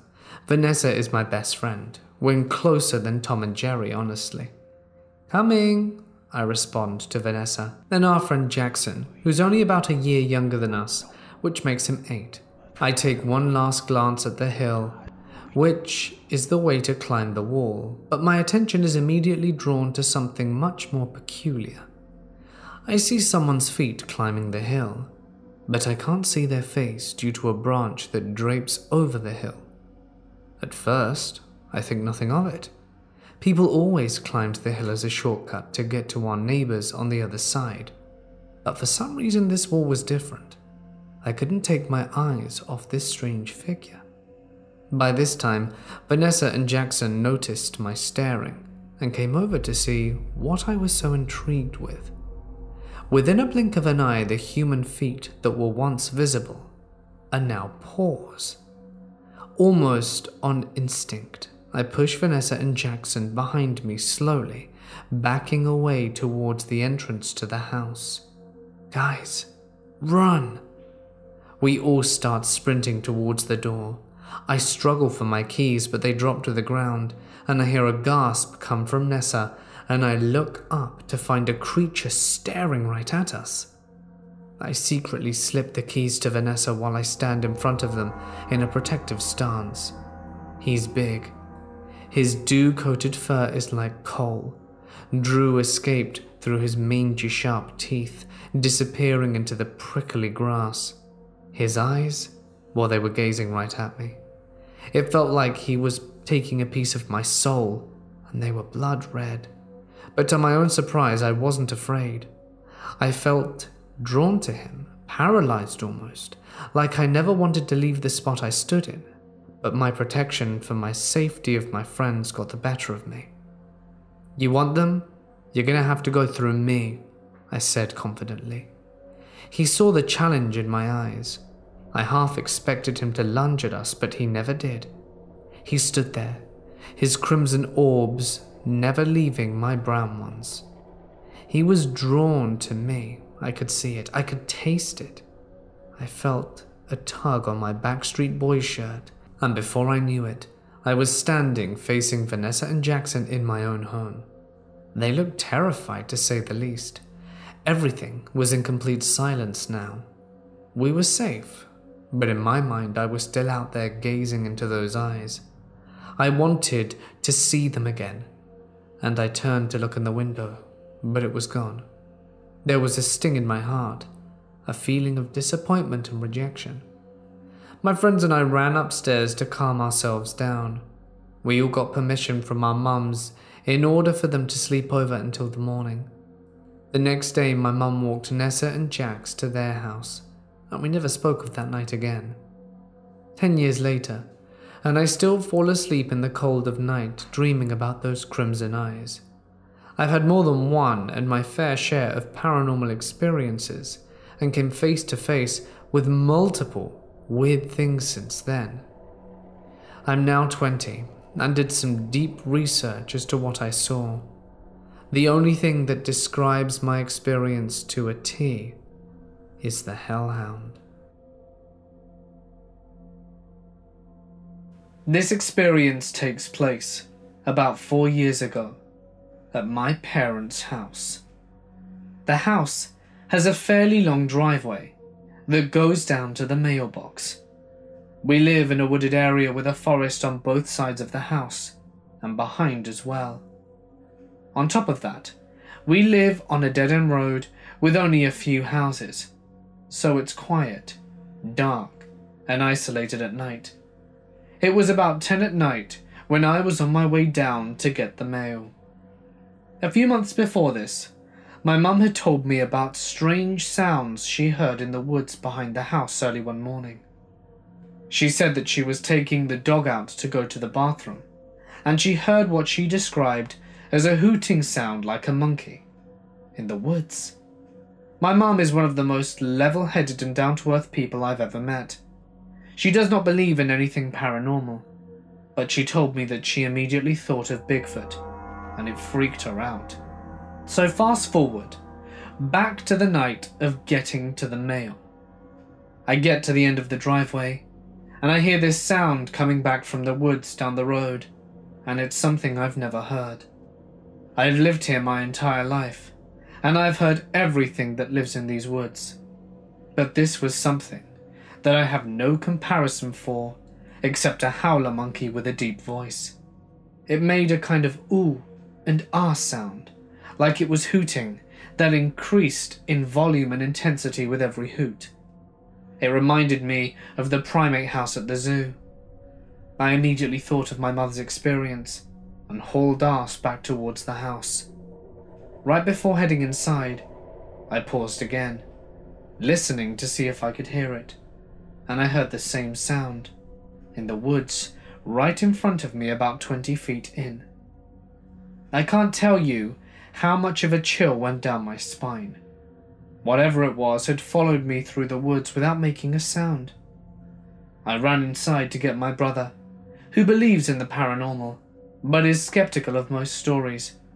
I told him to get out here, and that he needed to hear this. You just have to hear it. He rolled his eyes and followed me out. So my brother and I stood in the front of the house, listening to this thing hoot and yell in the woods in front of us. Suddenly, another one answered from across the yard in the woods on the other side of the house, and the trees began shaking in the exact same area. I can't express to you the size of these things just by listening to them. They sounded huge, and the one behind the house was violently shaking the trees. My brother is very stoic and not easily impressed, and he stood there silently with me listening to these two things shouting at each other in the woods, and after several minutes, he quietly said, What is that? I whispered back, I have no idea. My mum later told me that she said it scared the crap out of him. That's the only time I've ever heard this sound, which to me gives it more weight as a strange experience. I've had people try and tell me that I heard two owls. I have lived in the woods my entire life, and I've heard owls many times. This was not an owl. I used to enjoy going for early morning walks as the sun came up. I don't do that anymore. A couple of days ago, my grandma told me a story that happened to her. When she was around eight, she lived in a small house with her sisters and parents. It was in the middle of a large field, and it had trees surrounding it towards the back. There was only a narrow dirt road that connected them to the outside world. One night in May of 1964, she and her sisters had went to sleep for the night. She woke about two hours after she fell asleep and got the horrible feeling that she was being watched. They had a small window six feet up on their wall in the room. She turned and looked at it and saw two glowing eyes. She got really scared, so she woke up one of her sisters her sister began to freak out, and she hid under the blanket. They sat there until the eyes left the window. The next day, they told their mother about the incident, and she didn't believe them. That was until they investigated the outside. There were enormous footprints leading to the window and then back out into the woods. From that point on, my grandmother and her sister were not allowed to play near the woods. A couple of months later, they heard from a neighbor who lived about seven miles away. He said he lost a couple of cows. He had no idea where they went. There was no blood or body, and the fence was undamaged. It was almost like something had just carried them away. After she told me about this story, I think she may have had a Bigfoot encounter. My dad had a sister who I never met. She passed away before I was born. It's a very touchy subject, as you can imagine, within the family. But one time my grandma was getting drunk and brought up this story on her own. I asked my father about it after, and he begrudgingly nodded his head and said that we think it's true, but to not speak of it. The tale goes like this. Apparently, many years ago, my father and his sister were out on the land as they lived on a ranch. They were doing their duties, and his sister chose to stay out a little longer to finish off some work she was doing. She must have been around 17 at the time. My father, a bit younger, went in because he was hungry, and she never returned. After about two hours, my dad was thinking it was weird that she hadn't come in yet. So he went out looking for her, and when he found her, she was crying by a tree. The sun had almost set, and it was dark, and he was asking her what was going on. She explained that just as she was finishing trimming some bushes, did she look over to come into the house and put the shears away, when she saw this huge black dog with red eyes. She said the dog easily came up to her chest, and that upon seeing it, she froze in fear. The dog glared at her without a sound for a few more seconds, and just like that, evaporated into a smoky mist. His sister couldn't take it, and she freaked out, ran and hid behind a tree not knowing what to do, and too scared to go home, as that would mean passing where it had disappeared. My dad told her not to worry, that it was probably her imagination, but deep down, he didn't think she could imagine something so vivid that would terrify her so much. He brought her in, and they tried to forget about it. But apparently, his sister liked to share and told my grandmother and my grandfather what she'd seen. My grandfather, being a very stern man, said that it was nonsense, that she obviously imagined it, and to put it at the back of her mind and not give it any more thought. My grandmother, however, was a bit more compassionate, and although she had a hard time believing her that some strange dog appeared out of the mist and then vanished again, she did her best to make her feel better. Not three days passed, and again my dad's sister was out on the land doing some yard work. My dad was right next to her. They were chatting and having a good time when all of a sudden she seizes up. My dad looks at her with a start, and in the distance he sees the very same black dog. She is frozen in fear, and as the dog disappears, she lets out a horrific yell.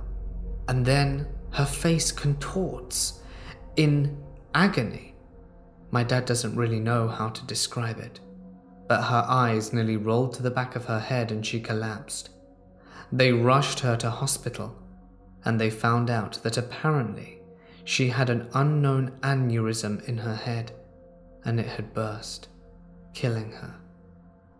They don't know if the sight of the black dog was enough to cause it to burst from the stress, or perhaps it was an omen of her life coming to an end.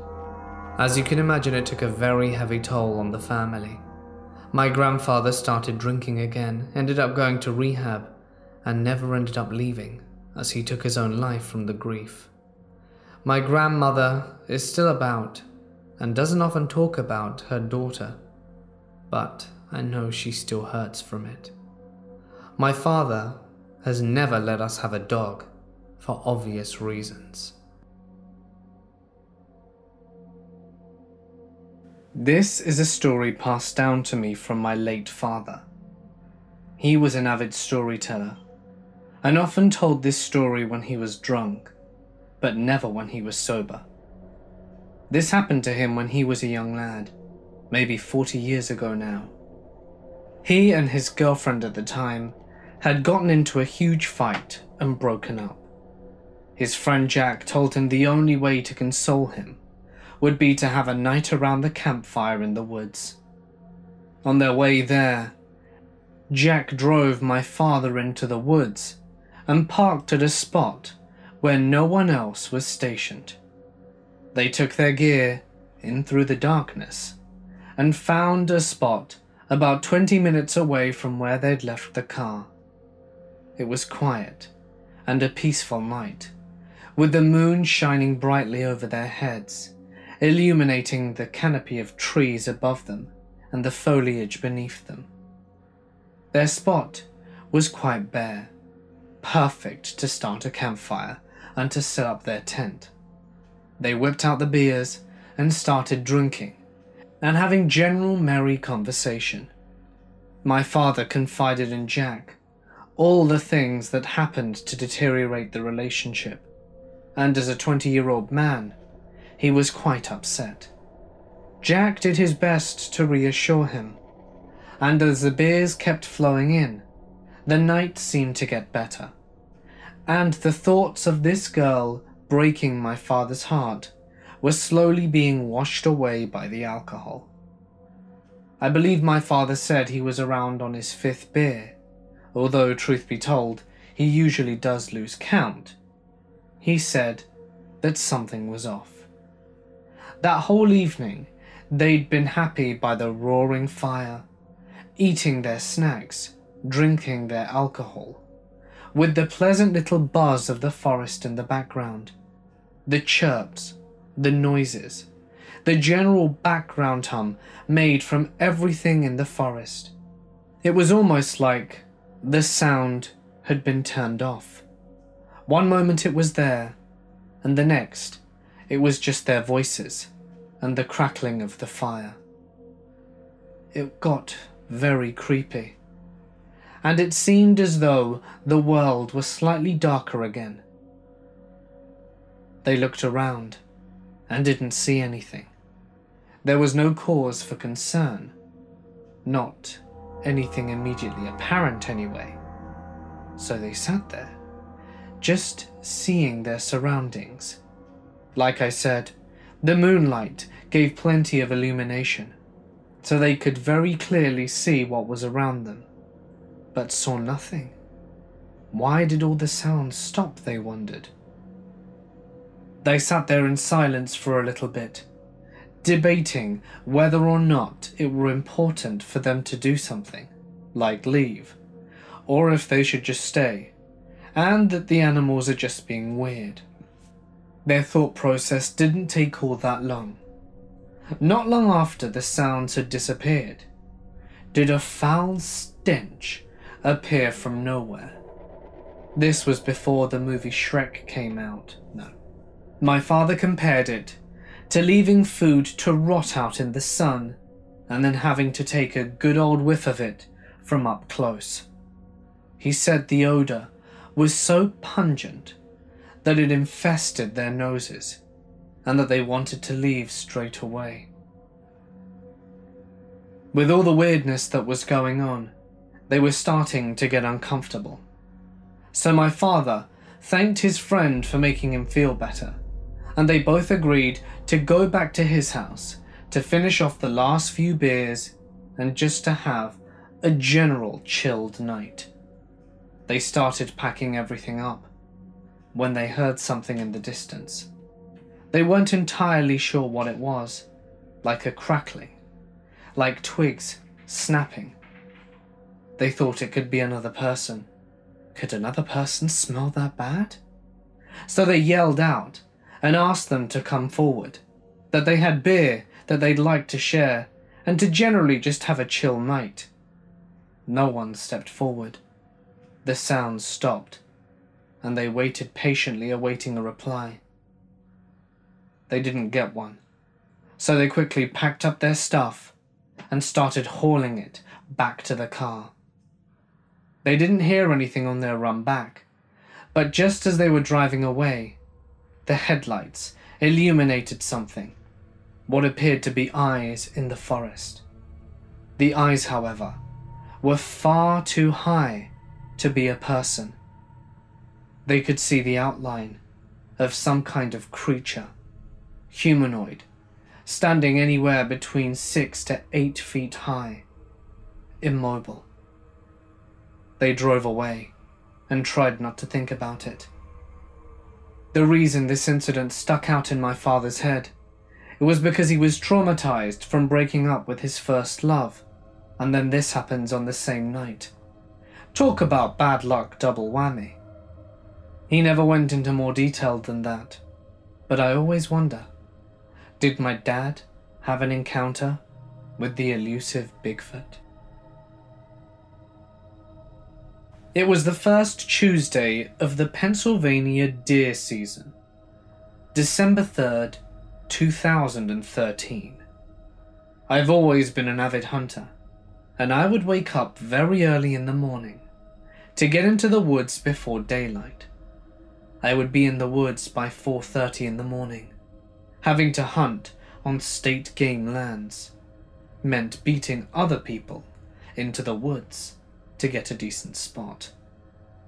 When I got to the parking area at around 4:15, no one else was there. So I walked into the woods, not using a flashlight, but walking only by moonlight. I walked through a field into the tree line and started on my path to my spot. I came to an intersection in the path. One way went left and down the mountain. The other way went right. I went right because my spot was on the other side. Roughly 50 yards after making the right hand turn, I smelled what I can only describe as hot garbage. It hit me in the face. Like I mean hot dumpster juice in the middle of August. So I stopped dead, turned on my flashlight, expecting to see piles and piles of garbage. Nothing. No garbage. Nothing dead. Just hot garbage smell. Keep in mind this is in December. It's cold out. High 20s to low 30s. So even if there was garbage, it shouldn't smell that bad. So I kind of thought nothing of it. I followed the path to my spot, which was down over the ridge from the garbage smell. Roughly maybe 40 feet down, that leads into a grass field where I would sit. I set up my seat, get settled in for about two minutes. That's when rocks started coming down the ridge. The first rock startled me, causing me to turn on my light again, scanning the field, hoping to see eye reflection of a deer, but nothing was there. I sat back down. Another rock comes down the ridge. This time I stand up and go out into the grass field with flashlight and the pistol that I carry while hunting.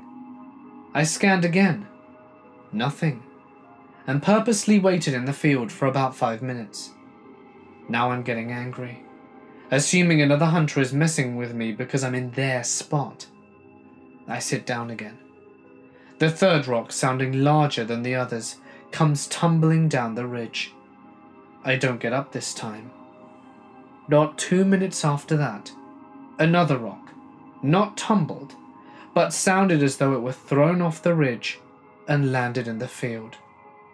Screw it. I'm pissed. I gathered up my gear and started back up the trail to the ridge. I get on top of the ridge, scanning with my light the whole time. Nothing. No eyes. No other hunter. I get to the spot where I smelled the hot garbage.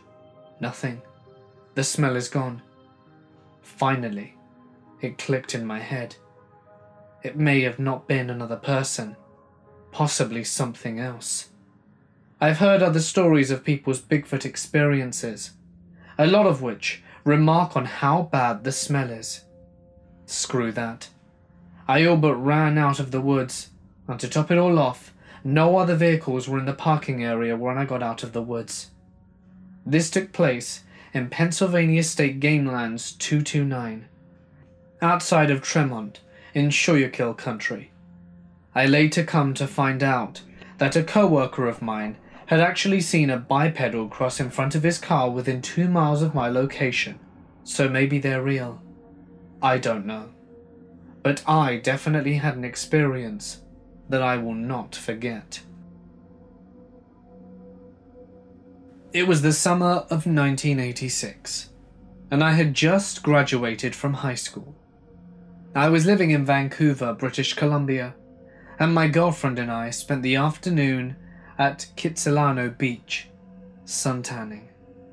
She had to leave early for work, so I stayed on the beach, alone. It was around four, and I was hungry. I walked up to the beach over an area called Spanish Banks. There is a concession out there, and I had a long line. It was an Expo 86, so we had a ton of tourists that summer, and the beach was packed. I placed my order, but was told that it would be a 15 to 20 minute wait for my food. I perched myself on a bench and proceeded to wait. For some reason, I looked across the street. The concession stand is adjacent to the road, a narrow two lane road. Not the best for beach traffic. And the other side of the road is a forest called the UBC Endowment Lands, attached to the university. There was a guy walking down through the forest, which was also a steep hill. There is no sidewalk below and it was a really dangerous place to try and cross the street. Not only that, it was an odd place to come out of. Imagine a steep hill with lots of bushes and trees going straight down a curb, and then a busy street. The second that I saw this guy, and I was far away at the concession stand, I had that gut wrenching fear that everyone describes, even though he was far away. I could tell that he was grinning maliciously, fixated on me. He crossed the street grinning, and at that moment there were no cars, so he got across easily. He made a beeline straight to where I was and went and sat on a bench and crossed from me. I'm not good with distances, but I approximate it must have been 10 to 15 feet. He was First Nations, a bit older than I was, maybe 1920. He had medium length hair and was wearing a white t shirt and a red flannel shirt over it, unbuttoned. He was wearing jeans. I can't remember his shoes, runners of some kind. He was fairly attractive, but utterly evil. Malicious was the word that kept going through my mind. Now his eyes, they were black. No whites could be seen, but they were not shiny like all of the other accounts I've read. His were dull. The way that I described it to my boyfriend later was that they looked like scratched black plastic. They also gave me the feeling of when you look into a microscope or binoculars and you can see your own eyelashes squished against the lens. And it's almost spider like. His eyes and his everything frightened me like nothing ever else had. He sat there grinning at me. He knew that I was terrified, and I knew that I had to pretend that I was not. I felt totally alone, even though there were tons of people around. No one else seemed to notice anything amiss. I felt as though knowing that this person existed made me hate being alive. The world would never be safe if things like him existed. I sat there acting totally normal on the outside, trying to keep it together, because it seemed instrumental to my survival. I had no idea what this thing would do, but I felt as if my life was in danger.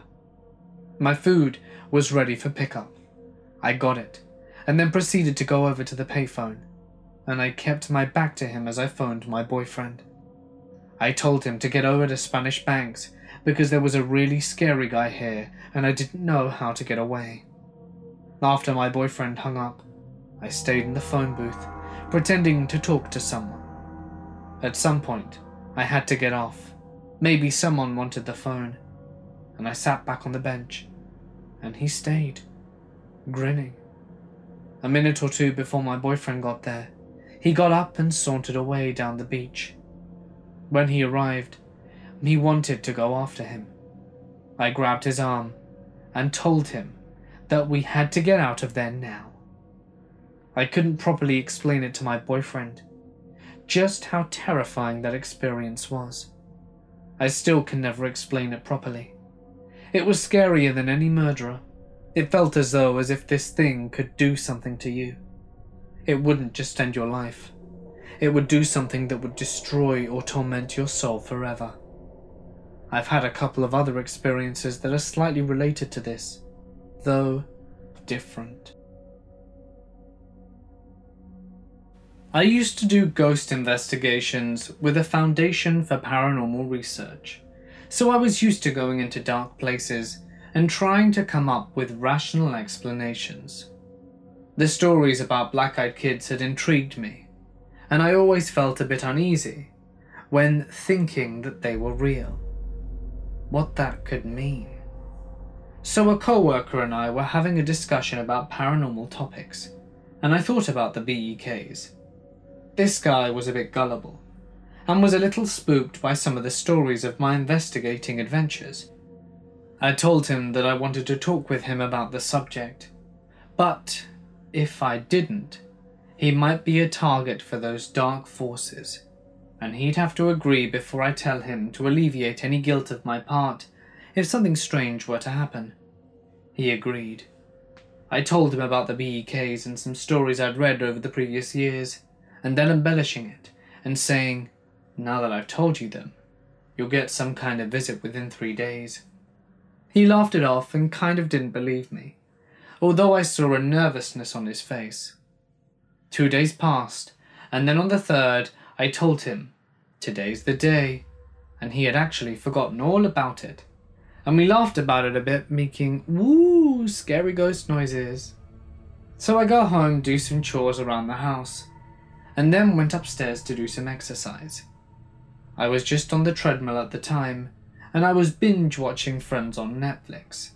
The episode was almost over, and the TV sort of just faded out to black, and I thought maybe the power was acting up, or the TV just went kaput, when I heard the most sinister child giggling that turned into a sort of demonic high laugh, kind of half and half.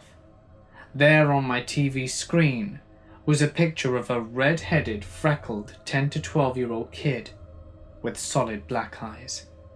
The picture was sort of zoomed in and turned on a slight angle, as if you had tilted your head to the side. It just stayed there, and I jumped off the treadmill and onto the sides of the equipment, and just stared at it with my mouth agape. The laugh giggled again, and then it faded out, and friends faded back in, and the end credits were about to roll, sort of picking up where it had left off. The whole thing happened in about 30 seconds. I couldn't sleep. I went over and over it in my mind that somehow I got the visit from the black eyed kids, but not in person as one would think. I could only hear that demonic giggle laughter in my head over and over, and literally scared myself. I told my co-worker about it, and he then thought I was making it up. I scoured the internet for a photo that looked just like what I saw, and while my photoshopping skills are limited, I managed to recreate it. We were both very spooked. So a few years ago, I had a run in with the entities known as the Black Eyed Children. For those of you who don't know, the Black Eyed Children are beings that roam the night. They knock on doors and try and get into your house. When you get a good look at them, they look like they're from a different time period. Then you see their face. They have no eyes. Or rather, their eyes are so black, they look like they're not even there. Any encounter with them results in the most terrifying night of most people's lives. However, my encounter with them just falls short. For reference, I was 17 when this occurred. At the time of writing this, I am a 19, almost 20 year old, and I was working at an indoor water park that might have been referred to as the puddle. I was a lifeguard and was the last one heading home late one night. I was soaking wet and freezing, despite it being around 80 degrees outside. I got into my car and locked it, pulling my phone out for some music. I read a couple of messages and got distracted, and suddenly there was a tap at my window. I looked up and saw a couple of kids staring at me. I rolled the window down just enough to hear them clearly. What's up, guys? Are you lost? I asked in a polite tone. They didn't really respond. They didn't really move at all. Finally, the smaller child spoke, and as he did, my heart dropped. The voice that came out of this child's mouth was deeper than my own. It was so deep that it sounded like Satan himself spoke to me. We just need a ride home. Could you let us in and take us there? I couldn't move. I was frozen in fear. Come on, mister. Just open the door. It demanded, knocking again. As they were knocking, a car's headlights illuminated their faces. They had voids where their eyes should be. When they saw my look of horror, they grinned and started pounding so hard on my window that I thought it would break. I kept trying to start my car, but it wouldn't. Finally, one of the housekeepers of the hotel the puddle was built around came out to throw trash, and I heard them walking and went to warn them about the kids. When I look up, they were gone. Now, this could have been a hallucination brought on by the amount of stress I went through, but it was very real for me. Anyway, my car ended up starting, and I made it home in record time. Like I said, it's not the scariest thing that's happened to me, but it's up there. Let's just hope they don't find me again.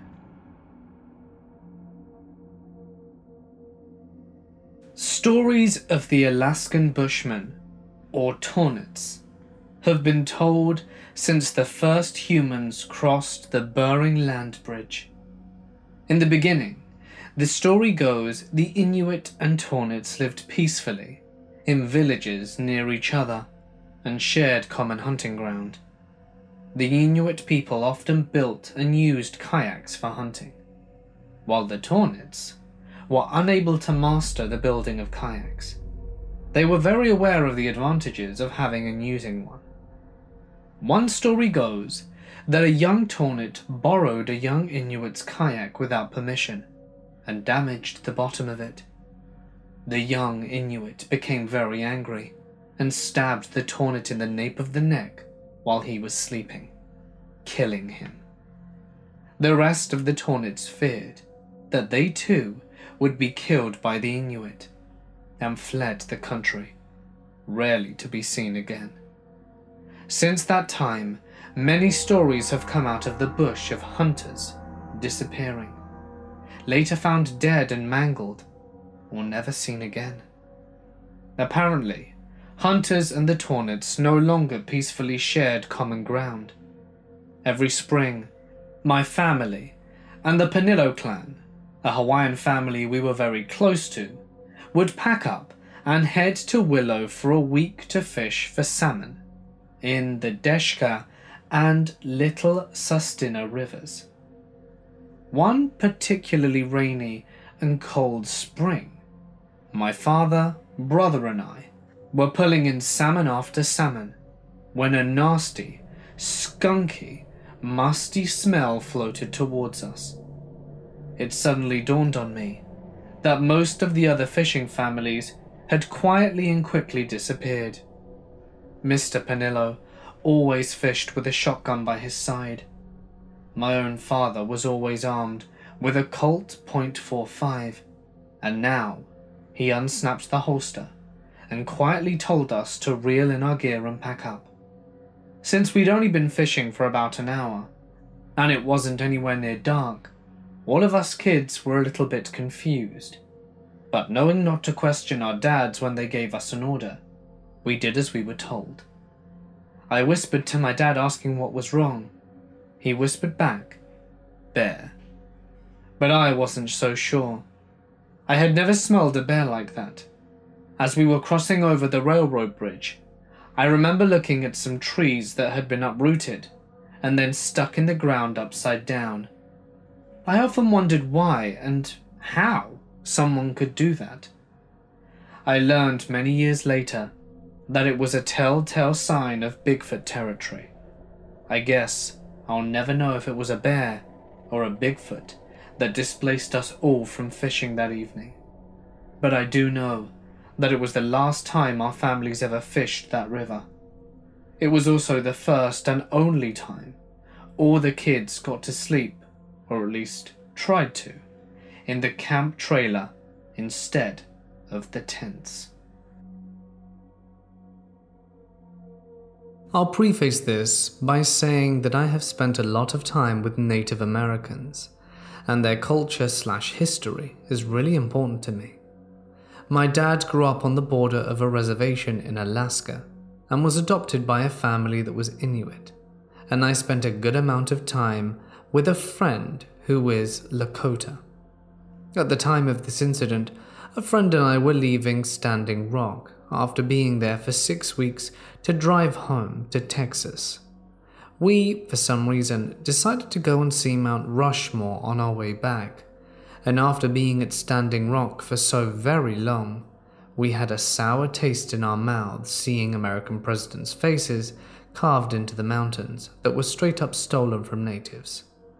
So my friend decided that we should go to Wounded Knee. It was only a few hours out of the way home, and it seemed important that we go. Side note, it was about 11 pm at this point, but screw it, I was planning on driving straight to Texas, and we should go to pay our respects, especially after Rushmore. Fast forward, GPS takes us straight to the main part of the gravestones and monuments, plus a bunch of descriptive signs. I've never believed in ghosts or spirits or any of that, but as we parked, I was seized with a terrible fear. I couldn't move, refused to get out of the car, struggling not to have a panic attack and get out of there. That kind of fear. My friend gets out of the car and goes to read the memorials, and I sit in the car literally paralyzed with fear and terror. I look out the window and see two giant black dogs with red eyes that look directly at me. All I could feel was this oppressive feeling that was almost a thought that we didn't belong there. And the word leave.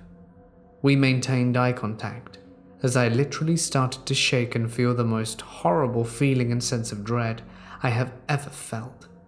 Also, for the record, I'm a really tough lady, so it takes much more to even ruffle me. I lay on the horn, and once again my friend returns to the car, and I tell her that we need to leave now. I don't tell her what's going on. I just type Texas into GPS with shaking hands and start to drive away. Following the instructions, I leave, taking a bunch of turns and roads I didn't remember from the way in. And after around five minutes, we end up right back at the exact same place of Wounded Knee that we were at. Right then, feeling legitimate and actual terror, and trying not to lose my mind, I tell my friend what's going on. She happens to be a hippie who believes in stuff like spirits and crystals, and she took me seriously, pulls her phone out, and her GPS did the same thing. All I feel is dread. I cannot get those eyes out of my head, and I decided to trust my hound dog sense at that point and just drove as far away as I could. My friend insisted we threw off all the jewelry we were wearing, and I drove in clammy terror for at least an hour before I felt okay to even speak. I still don't know exactly what happened, and it still unnerves me. I got goosebumps just remembering this.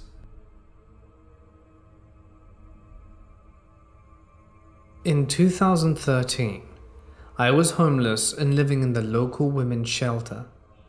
The exclusive director of the place is a man called Dan. He was shady as hell, with the creepiest, sleaziest aura around him and a long history of abusive behavior towards the shelter's clients. But that's an entirely different story. Most nights, Dan left the shelter by 5 pm, and he was virtually never to be found on the grounds past 7. But one October night, he was still kicking around at 9. A few of the other ladies and I were sitting outside just chatting when we saw him pull his car out of the back driveway and take off down the street like his ass was on fire. His back tires spun out in the gravel before getting purchase, and that's how fast he accelerated. And just as his car disappeared, I saw an absolutely enormous black dog or wolf like creature come leaping through the brick wall where his office was. It took three long strides across the front yard, leapt towards the road Dan had taken off down, and vanished into smoke. Everyone was quiet for a moment until I asked if anyone else had just seen that. One of the ladies said, Yep, and we hurried around to get back inside. I'd never felt so deeply and viscerally unnerved than I did that night. I draped so many blankets over my bunk that it was like a little cave, just trying to feel secure enough to sleep. Fast forward to December, we had a new lady in our room and was staying up past lights out to work on some small Christmas gifts. And while we were working, we were quietly telling ghost stories. I happened to mention what happened in October, and once I'd finished, two things happened all at once. The temperature in the room plunged. It was a little chilly back there because Dan was too cheap to turn up the heat, or even turn it on sometimes. But this was cold, like someone had opened the window and the baby in the room next door, who'd been dead asleep, let out the most blood curdling shriek I'd ever heard from her, like someone was hurting her, and started screaming and crying so loud she woke up everyone in the woman's shelter. To this day, I don't know what exactly I saw, but I've been left with the distinct feeling that it was evil and attached to Dan in some way or another. And you know, it was always a joke that he'd sold his soul to the devil to be as untouchable as he was.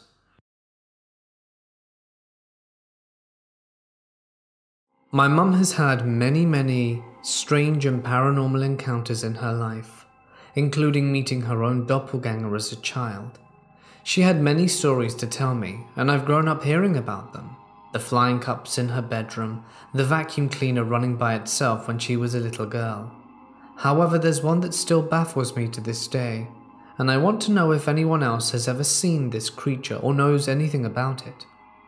Years ago, before I was born, my mum had been staying at her best friend's house for a while. Her best friend was married, so her husband was also there, but he and my mum barely interacted with each other when she was there. He always kept to himself and still does today, as they're still friends. As my mum put it, she was parked in her friend's driveway waiting for her friend to come out so that they could leave. My mum was alone in the car, fiddling around with some buttons and such and she glanced in her rearview mirror. What she saw horrified her. In the rearview mirror, she saw a large black dog walking on its hind legs. Now, I'm a very skeptical person of everything, so I asked my mum if it was just a random big old dog standing on its back legs and using the car for support. She insists that no, it was walking like a human did. It did not touch her car, it walked along the sidewalk like a human would. It did not once get on all fours, and that it walked on two legs. She swears this, and I can see by the genuine terror in her eyes that she's telling the truth. I asked if she saw the legs. She said as soon as she looked behind her, it had vanished into thin air, gone like a ghost. When she looked around, there wasn't a single dog or person in sight. That's not the scariest part, for me at least. My mum visited her best friend again, not just the house, she hates the house now, a few years ago, and the subject of spirits came up. My mum told her exactly what she told me about the dog or whatever it was walking behind the car in her driveway because she never told anyone. Her best friend looked at her pale in the face and said, My husband told me he saw that too. It walked on two legs. Two people saw the exact same creature in the same spot at different times. I've heard legends of dogs and how you can see it so many times as a signal of fate or fortune. But what was that? Have any of you ever seen anything like it? I'm terrified because I passed my driving test recently, and if I see this thing, or anything remotely unnatural in my rearview mirror, I think I'll have a heart attack. So I had decided to go out looking for some mushrooms, the edible kind. I was probably about 20 miles on a back road, which is just a dirt road marked as a trail XYZ here. I found an out of the way spot to park my vehicle, where I know some good mushroom hunting can be found. After a little searching in a ravine, I found a good spot and set up a tent and built a basic campfire. I was out there two days before the incident. On the third morning, I got up to nature's call and walked off a bit to relieve myself. It was still pretty early, dawnish, I about tripped on this rock, and it was huge. I didn't remember seeing it there when I went to set up camp. I got an odd feeling, because there were similar sized rocks all touching each other. The reptile part of my brain was screaming. So I went and got my flashlight to check out these rocks. They formed, as far as I could tell, a perfect circle around my campsite. From memory, I'd say it was about a 15 to 20 foot diameter ring. I paced it off. The thing is, I could barely make these rocks budge. Sure, I could lift one, maybe just a few inches, but move them? No. They were about knee high. Some of them had to be in over a hundred meter range. In a moment of crystal clarity, I realized that if crap hit the fan, my vehicle would be found, but I wouldn't be.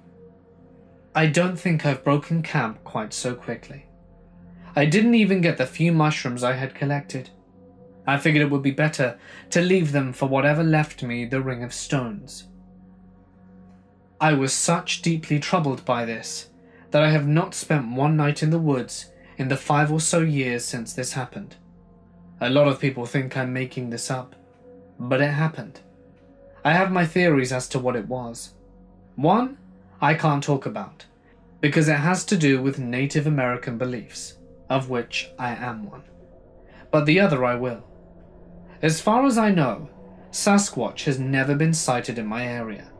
I mean, we have the Fouke monster, but that's a couple of hours south of me. I've heard some stories when I was younger, around the hunting campfire, that there is something big living in the mountainous parts of Arkansas. These were old men telling the story 20 years ago. They say in turn that they saw the creature or heard them in their youth. One even talked about hearing roaring around his hunting cabin and a loud crash.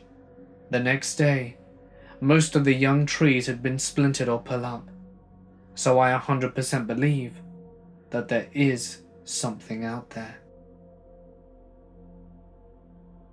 I have three stories from my own friends who've had interactions with these beings. Firstly, in Eugene, Oregon, my friend Amy told me about her interaction with a BEK. And this is amazing because the BEK had black skin. It's the only example I've ever seen of this case.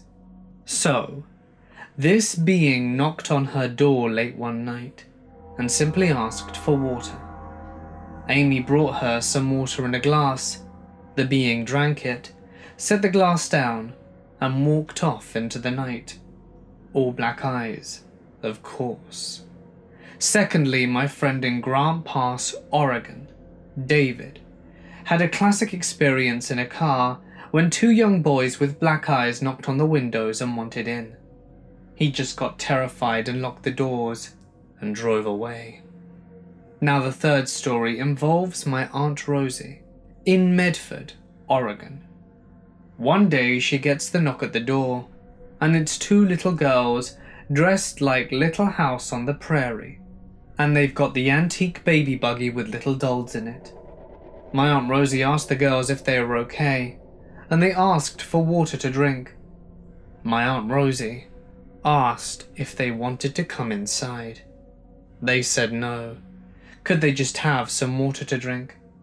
She goes to the back and grabs two bottles of water from the fridge, returns, gives them the water bottles, and the girls proceed to guzzle the water down like hungry wolves. My aunt turns from the baby buggy to where she was doting on the dolls and sees them doing this, and tells them they can just take the water with them. And that surprises the girls greatly. They said okay and wandered back down the long driveway. My aunt closes the door, then thinks, those girls could have been angels. Reopens the door, and they're gone. Just gone. And this is too along a driveway for them to just disappear like that. Unlike other houses on the street. She asked around the neighborhood after that, and nobody ever knew of the girls nor had seen them. I asked if she knew what black eyed kids were, and she said no. I asked her if their eyes were normal, and she said no, that they were all black.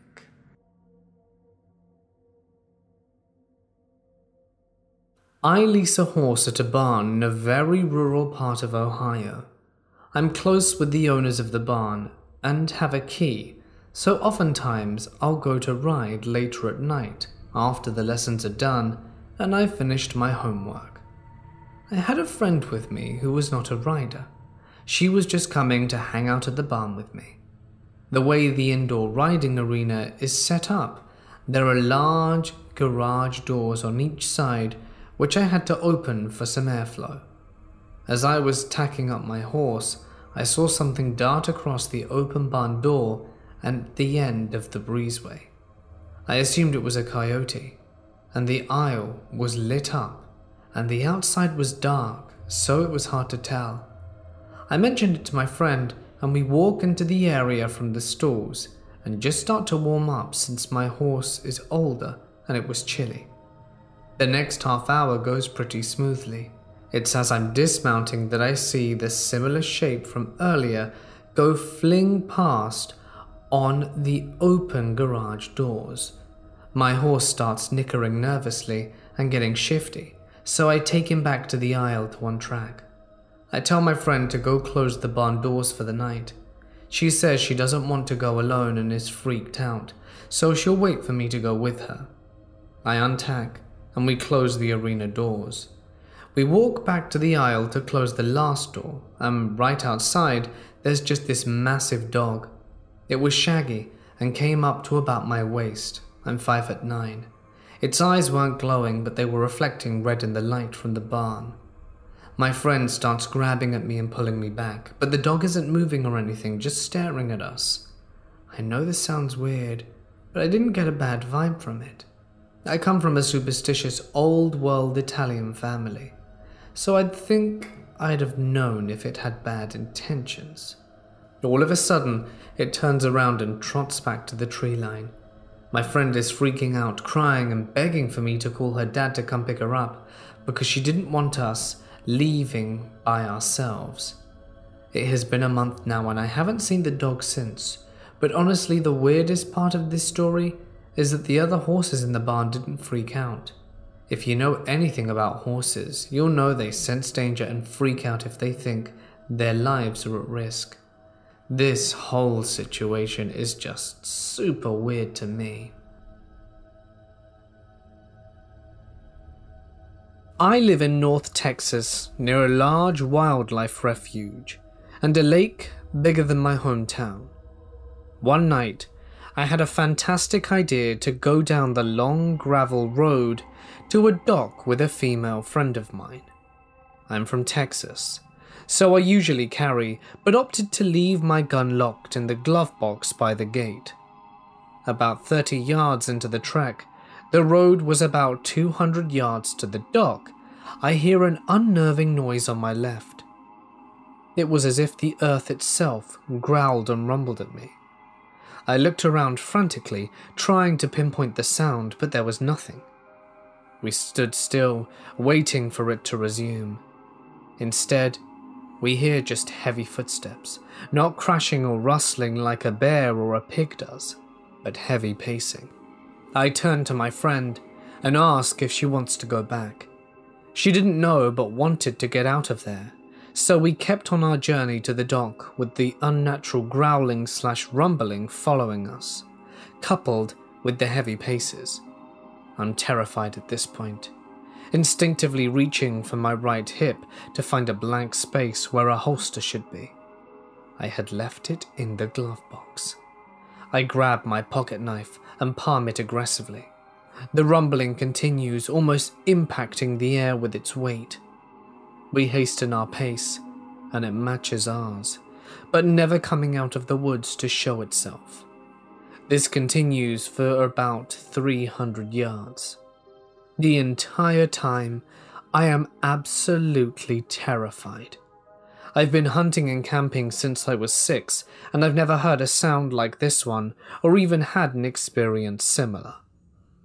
Finally arriving to the dock, she sprints out to the edge and I grab a handful of rocks and go sit beside her. For the next 15 minutes, it circles the area around the dock landing, emanating the rumbles and growls. Nothing we can do. It's dark. We have no form of weaponry, and we can't see. I call my buddy Dennis, who lives five minutes away. The rumbling and pacing continues, roughly 30 to 40 yards away from us, but it doesn't step foot on the dock. Finally, I see headlights come up over the trees, and the rumbling fades into the darkness. Dennis comes walking down cradling a rifle, and that was the end of that. Really freaked me out for a few months. I am a believer in cryptozoology now. I don't know if Bigfoot exists, but something does that may be similar, especially considering that most cultures have their monsters. This was over 10 years ago. and I still remember it quite vividly. I had just gotten out of an emotionally abusive relationship and was dealing with some pretty heavy depression, a level of which I had never experienced before and was quite hard to crawl out of. The situation back at home wasn't any better, so as a small escape, I would go out for late night walks with my sister. We never wandered too far, the cops never stopped us or asked us what we were doing at 2 and 3 in the morning. It was weird, but we felt safe enough. One evening, we made our way to the local 7 Eleven just a few blocks away. To get to this place, we had to cross a short bridge over an irrigation canal. This canal is known for having bats roosting underneath, and we would see them occasionally fly out to catch insects. We're just chatting about various things. My sister and I make our way to the 7 Eleven to get our drink. Neither of us had a lot of money, so when we were out, we would get the largest drink offered and share it between ourselves.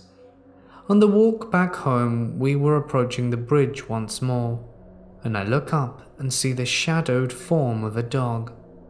It was huge, much larger than a German Shepherd or Siberian Husky would be. It was moving towards us. The odd thing was, there were no sounds of footfalls or the telltale signs of claws upon cement. I've never seen a spirit before, and since it was approaching a street lamp and still had no reflection of its eyes, my sister directed us to the median that partitioned the different lanes of traffic. There were no cars out. We were the only ones on the street that night, and we moved to the median to continue our walk since there were sidewalks on only one side of the road, and that's where the dog was. My sister said to leave it be and to not look at it. It won't bother us. I walked several steps, then looked back anyway. The dog was gone, even as we passed it. If it had sprang into a run, I should have heard the animal's footfalls, but there weren't any. I'm not sure what I saw, but it was a little while before we went out again. This first story takes place in the Chuska Mountains in the 80s. My friend was about six years old and was up in the mountains for a family reunion at the family cabin. The cabin is in a meadow with a stone well near the tree line. They spent the day doing typical reunion things like three legged races, flag football, and whatnot. The sun starts setting, and the families retire to the cabin and call it a day. The older people planned to sleep in the two bedrooms, and the kids would sleep on beds slash cots set up in the living room. All was well, and the kids were tucked into bed. My friend Sandra is uneasy and is reluctant to go to sleep. She is wide awake and everyone falls asleep. Sandra tosses and turns, unable to shake her strange feeling when suddenly her feeling turns immediately to fear as she hears something big, something heavy, making its way across the porch. Sandra fears that it may be a bear looking for food. Little did she know, it would be much worse. She could make out the shadow of something large and dark as it passes the window. It is making its way to the door, and she sees that the family don't lock the door. She's watching it, too scared to move or scream, and she sees the doorknob rattle back and forth. Whatever is trying to open the door succeeds, and the room floods with the most putrid stench, and she sees a large human hand make its way through the door. Sandra finally summons her strength and screams, Dad! Her father runs in and sees Sandra pointing at the door. He sees the hands and runs to the door and yells, Hank, grab the gun! Whatever was at the door runs. It was a full moon, and in the moonlight they see the creature run across the yard. Hank, with a hunting rifle in hand, looks through the scope and sees the creature crouching behind the well. Sandra's father assumes it's a bear and tells Hank to shoot. Hank pulls the trigger and hears the bullet ricochet off the well. all thought of this being a bear is diminished instantly when the creature stands up on two feet and runs towards the tree line. They never saw the creature again. I was walking into a spot where I duck hunt. It had snowed several days before and had frozen and thawed a few times, so there was a really thick crust on the snow. I'm a big guy and could easily walk on top without breaking through. As I walked along a farm path, I heard something in the forest to my right. Looking, I noticed a shape maybe 30 yards away trying to hide behind a tree line. I could see it clearly. It kept sliding to the left and peering around the tree trunk. I stopped and turned towards it, and it turned and ran away downhill, crossed the upper end of the frozen beaver pond breaking through the ice, crossed an open field on the other side and disappeared into the woods. I lost sight of it before it broke through the ice. It scared me. Shaking, I drew my pistol and made my way back into the field on the far side of the beaver pond and looked at the muddy tracks where it came out of the water. There were just smudges. It wasn't even denting the packed forest snow. I went down to the water and looked at the broken ice. It was thick enough for me to stand on, and I tried. I went back to the tree that I was trying to hide behind, and there was a limb that was across its face, so I knew I could get a height estimate. That limb was even with the top of my head when I was standing, where it had stood. I'm six foot, so this thing must have been at least six foot six or taller. What was it? It was bipedal, standing at six foot six Maybe it was a person. What could possibly make a human cross a frozen pond in cold 10 degree Fahrenheit weather, not knowing if the ice would support them or not, or even how deep the water was? Then, when did this now very wet person go in a 300 acre forest? There is still a logical explanation. I just don't know what it is. I had a seriously strange encounter last night. I ordered a frozen yogurt from Postmates, which is a food delivery service, at around 10:45 p.m. At around 11:20, I received a notification the delivery driver was close. So my girlfriend and I stood at the curb waiting for our food. I was immediately surprised to see that my delivery guy was driving a brand new Jaguar. I have never seen a Postmates delivery driver in such an expensive car, as I'm sure many of you probably haven't seen either. The driver also had a young, seemingly normal looking man as a passenger. When the driver got out, he moved bizarrely slow, and the entirety of his eyes were black. It were as if his pupils have expanded to cover the entirety of the visible area of his eyeball. The worst part, however, was that everything that this guy did was horrifyingly creepy. I have never met a creepier individual. When he exited the car, he said something along the lines of, I was in the neighborhood and thought I'd stop by. This statement made no sense because I had just ordered food from him. Also, the guy put my frozen yogurt in the trunk.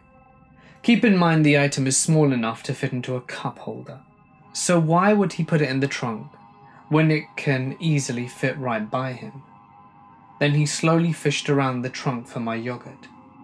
My girlfriend said he stopped what he was doing, looked up, and stared at her with what she described as an extremely creepy grin for a significant amount of time.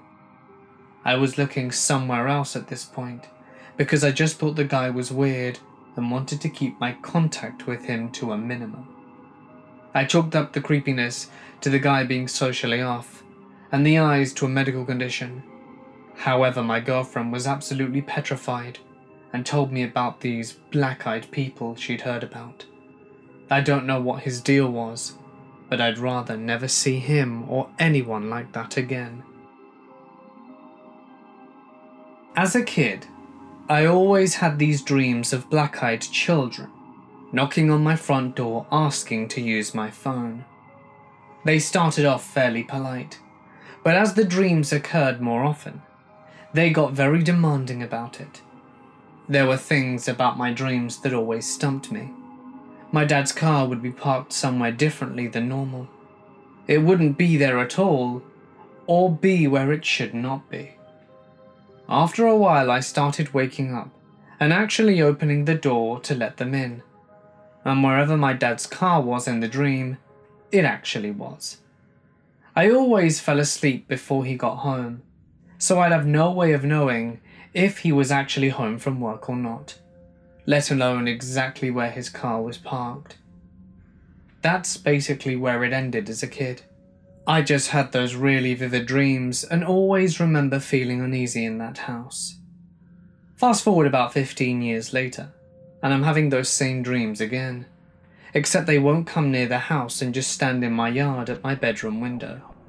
They ask the normal questions if they can come in, if they can use the phone, and it's always the same story where my mum needs to know where they are, and it's the same kids from my childhood dreams. It always ends up saying soon, and then they're gone. So just tonight I start feeling really uneasy, as if someone's watching me as I'm walking to work, which is odd because I live in a nice area and never get that vibe.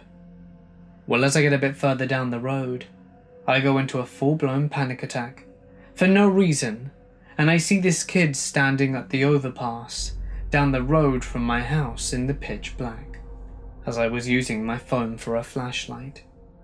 I get closer and he asks if he can use my phone. So I hop on my skateboard and just take off.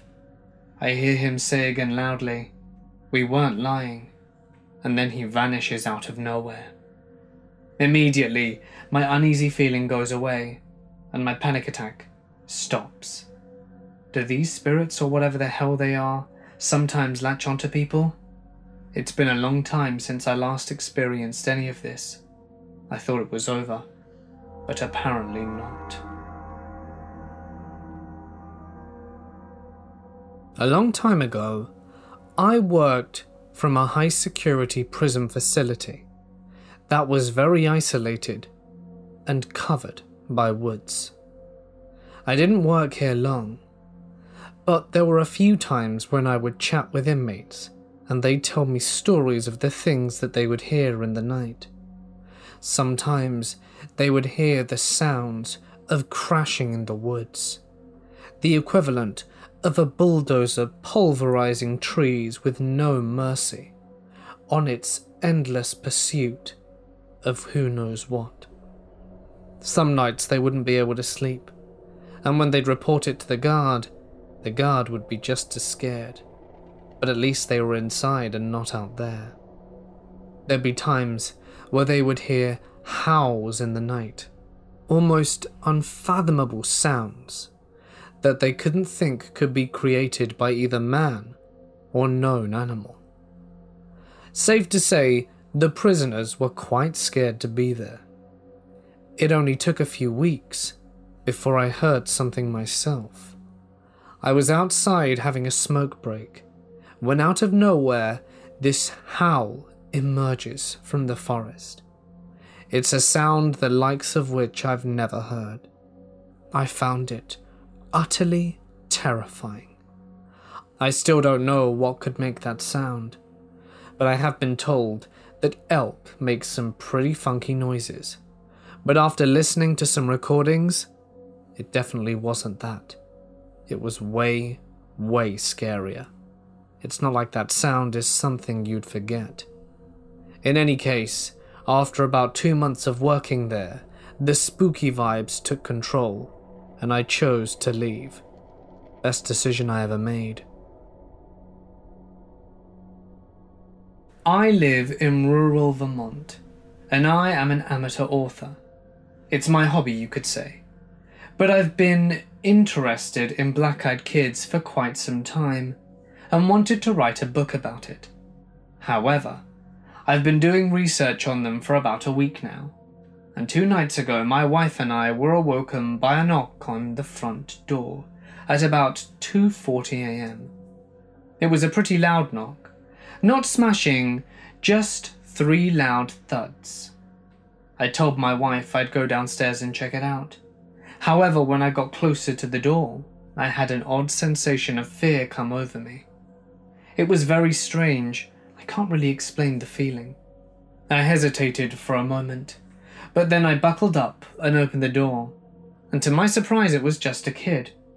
At first, I thought it was the neighbor's kid who lived down the street, as he's roughly the age of 13 to 14. He had his head down and was wearing a dark grey hoodie, and I asked him kind of angrily what he wanted. He then continued to stand there and said nothing. I raised my voice and asked him what his name was. That's when he looked up at me. I don't believe I've ever felt fear like that before in my life. His eyes were completely black, not to mention his very pale skin. I slammed the door in his face, locked, and then deadbolted. This was definitely not my neighbor's son. I then proceeded to run back upstairs, right by the wife, and lock the window to see if he was gone. And he was. Just like that. Gone. I've barely gotten any sleep and can't stop thinking about this and just can't make sense of it.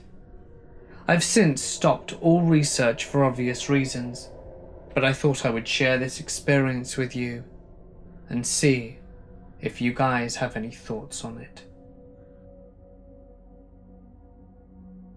As a kid, I saw a fair share of paranormal activity, but this is one that has left me puzzled. As a child, me and my siblings all shared one room, two bunk beds for them, and a kid's bed for me, pushed right under the window of our room. I vividly remember waking up one night, probably five or six years old, to a pitch black room. As I laid in bed terrified of the dark, I got an overwhelming feeling or compulsion to look out my window.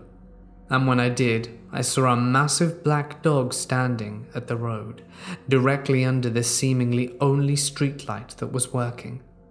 As I was staring at this dog, it turned its head towards me, and I saw it had red eyes it stared directly back at me for what felt like forever, before turning to face ahead again.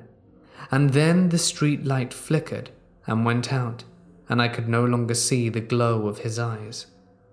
No more than a minute later, the street light turned, and in place of the dog was now a very tall man around seven feet tall, all features completely obscured by darkness, aside from one thing red eyes that looked directly at me for ages before he walked away. As he walked down the road, though, he gradually hunched over more and more until he turned back into the large dog. I've told this story exactly the same for years and years to anyone that listens, but I can't find any information as to what this could be. I'm going to try and give as many details as possible. I live in Ohio around Youngstown, and my family owns a cabin in Pennsylvania near the Allegheny Forest. It's my grandpa's cabin, and he's a retired firefighter.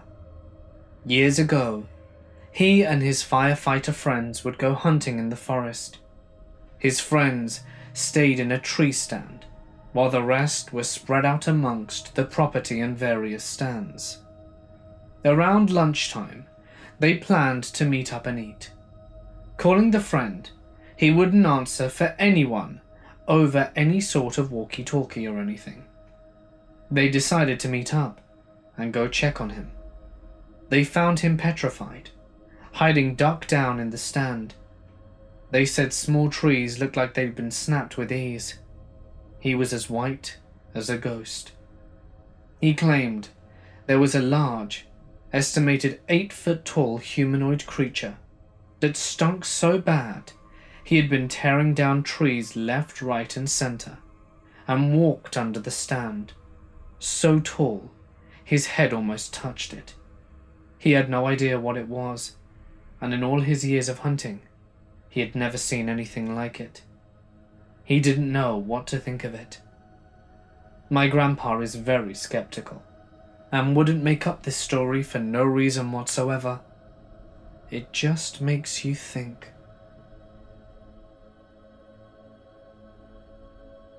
I've had something very bizarre and scary happen the other day. My wife and I were taking our dogs out for a run. Call me weird, but one of the most beautiful spots in our town is the cemetery. We take her there once a week to run around in the area. Don't worry, she doesn't go on graves or anything like that, so everything is going good. We get there and let the dog out and go park in the usual spot. She comes running back very fast, and I can tell she seems spooked. Okay, odd because she always wants to run to every tree and smell it and normally it's a pain in the ass to get her ready to leave. So we figured we should head out and find a different spot to let her run. On our way out, we see an oddly shaped rock on top of the ridge just outside the cemetery. My wife stopped the car so we could get a better look, but something felt odd. My wife gives out a little whistle to confirm it was nothing, and it lifts its head. She whistles once more a little louder than the first time, and it turns around and looks at us. This person, or whatever it seemed to be at the moment, just sat there with its head cocked in our direction. The face, no joke, looked like a dog. A big, brown dog with a long snout, yet the dog had arms and looked like it was using a smartphone. This overwhelming sense of fear came over me, and I tell my wife to drive and get out of there fast. I swear on my life, I've seen this with my own eyes. It's crazy the fear you can feel when you see something you simply cannot explain. I plan on going back on my days off and see if I can find some evidence. I want to share a story my dad has been telling my family for a long time.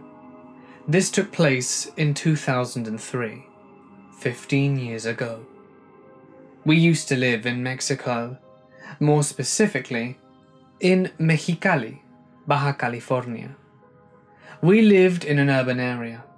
This story is a bit different since he saw a woman instead of a child, but nonetheless, I'm sure it's the same thing. One afternoon, after my father was doing his usual stuff, he heard knocking on the door.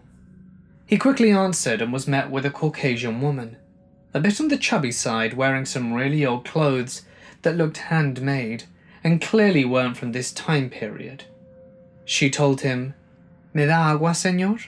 Which translates to, Can I have some water? My father replied with, There's a hose round the side. But the woman insisted on coming in. My father told her no, so she looked at him straight in the eyes, and that's where my dad saw it. Her eyes were completely black. She walked to the side of the house and proceeded to defecate on the sidewalk. My father lost track of her after that, and the next thing that happened was a bit strange. From that day onward, for about a month, an owl would constantly fly and stand on the same place where she had done a duty. And that's all of the story. My father isn't usually a superstitious fellow, and even though it may sound a little bizarre, he's always told the same story. Fifteen years ago, I lived in a town in Indiana. Where we lived was in the country a few miles away from town. There were a few weird things that happened. So, first off, I woke up at 3 am and had a strong urge to go to my window when I opened the blinds and saw yellow eyes, and it was as if it were piercing through my soul. I felt instant hopelessness and fear, then turned around and went back to bed. I'm 100% sure I wasn't dreaming when the morning came, and I went to the area I saw the eyes and didn't see any footprints. The following night, I was standing on my porch and suddenly smelt rotting flesh. the worst thing I've ever smelt, and proceeded to hear crunching leaves. To my left, I see a very large black dog walking towards my home. I screamed and ran inside that night, and I heard scratching on the side panels of our home. The following day, I found a large patch of fur, probably 4 by 4 in the same area where I had seen the large dog, but the fur was white with grey instead of black. I called this thing a dog, but it was dark. I looked at this thing for long enough to determine it wasn't a deer and freaked out and ran. I knew it was tall and on all fours. We lived at that house for another year, and there were still some mornings I would smell the rotting flesh. There have also been weird instances where I've spoken about this and phones will glitch out or the phone line will cut. Maybe I'm reading too much into it, but it was spooky. I didn't even know what I saw until a few months ago. I was drinking with friends, and one of them tells me a story and he starts going on about skinwalkers. So, who knows? There was this one encounter I had that really stands out among everything that's happened to me. I was hiking the ridges above Raton. I'd been out quite a while when I came across a well picked over deer carcass. There weren't any fresh tracks around it, but that's a real clear identification that I'm on some large predator's home turf. Time to go. As I'm climbing down the ridge, not the way I came up, mind you, I see a flat area with an odd, round stone formation. Think Stonehenge, but the rocks aren't squared off. Each of the rocks are taller than I am, and formed a darn near perfect circle. I'm a little creeped out, but I step in for a closer look. The second I crossed through the rocks, it was like an electric shock. Immediate goosebumps. The hair on my neck is standing up, and every nerve in my body is screaming at me to be somewhere else right now. I scrambled down the rest of the ridge, way out of control.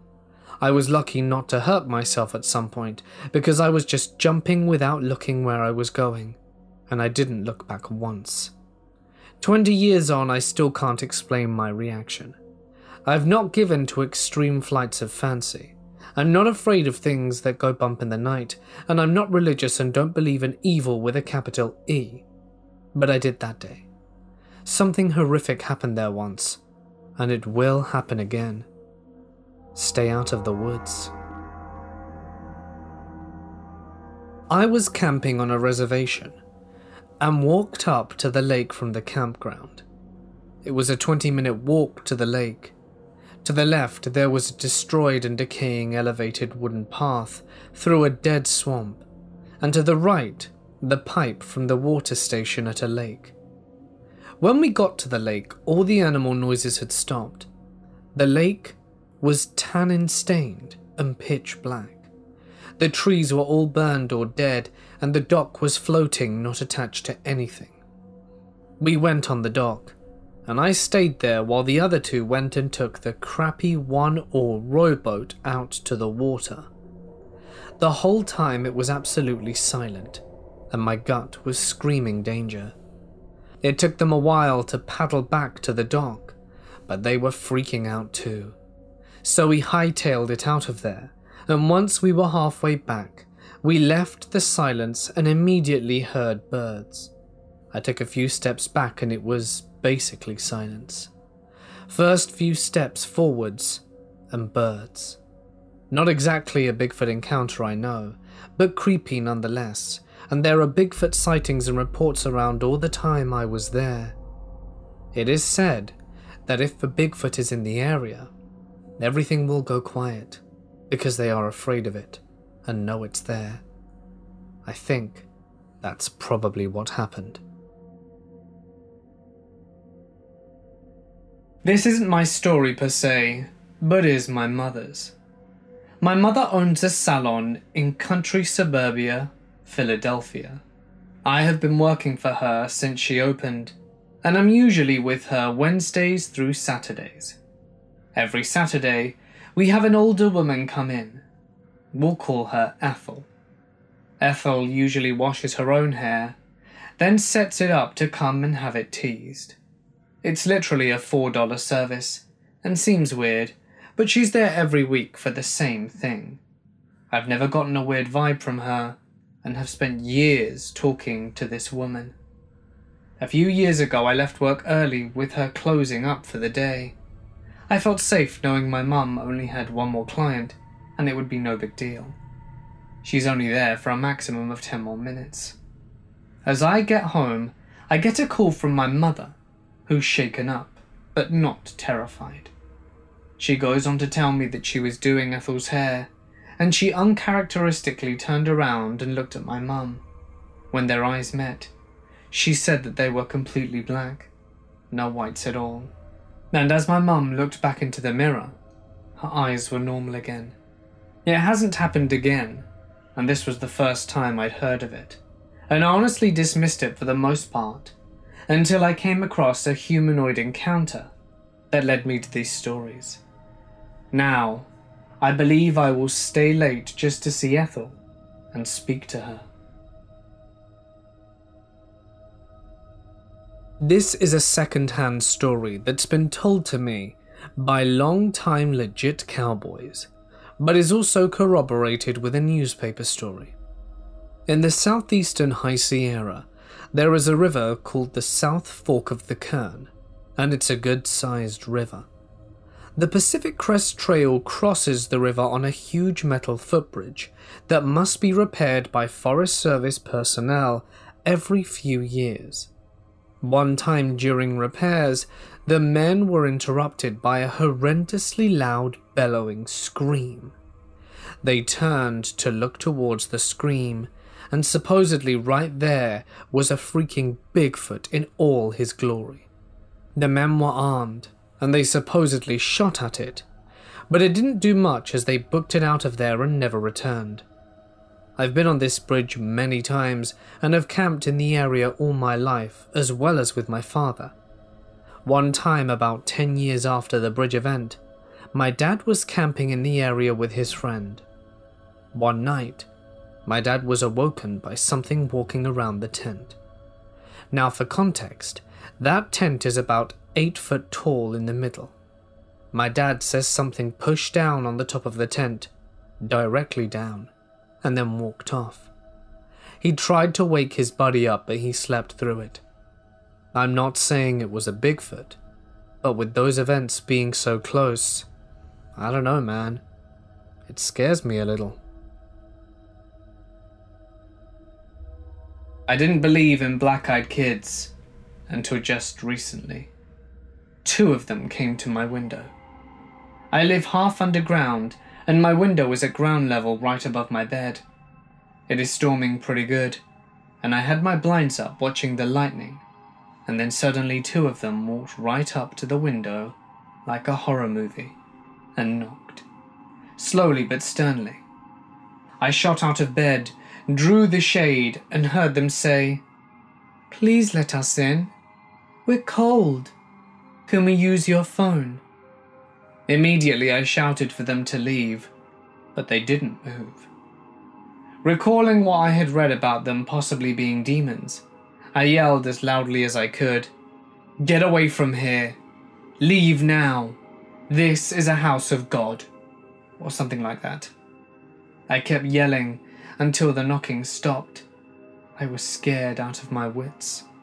And then finally one made eye contact through the crack in the shutters. And sure enough, its eyes were as black as could be. Like I was getting lost in the blackness and could not look away and then they were gone. I'm honestly so terrified and shaking. I really wish I had never learned of these Satan spawns. About two years ago, my best friend and I were driving home from late night classes. We live in a rural area and take these roads daily. We've had a few strange encounters on these roads, but this one stuck with me. It was pretty dark, and we were going about 40 miles an hour. I never drive faster than that on these roads because of deer and other wildlife. The road has a few houses, so it wasn't completely wooded. I'm driving alone and see some eyes and a dark figure that resembled a dog. I stop the car to let it cross the road. It runs across the road and at the edge of the bank and stands on its hind legs and runs like a human. My friend and I are scared because of how creepy this was. We tried to register what we saw and decided that it wasn't possibly a dog. It may have been something else. It was too small and skinny to be a bear.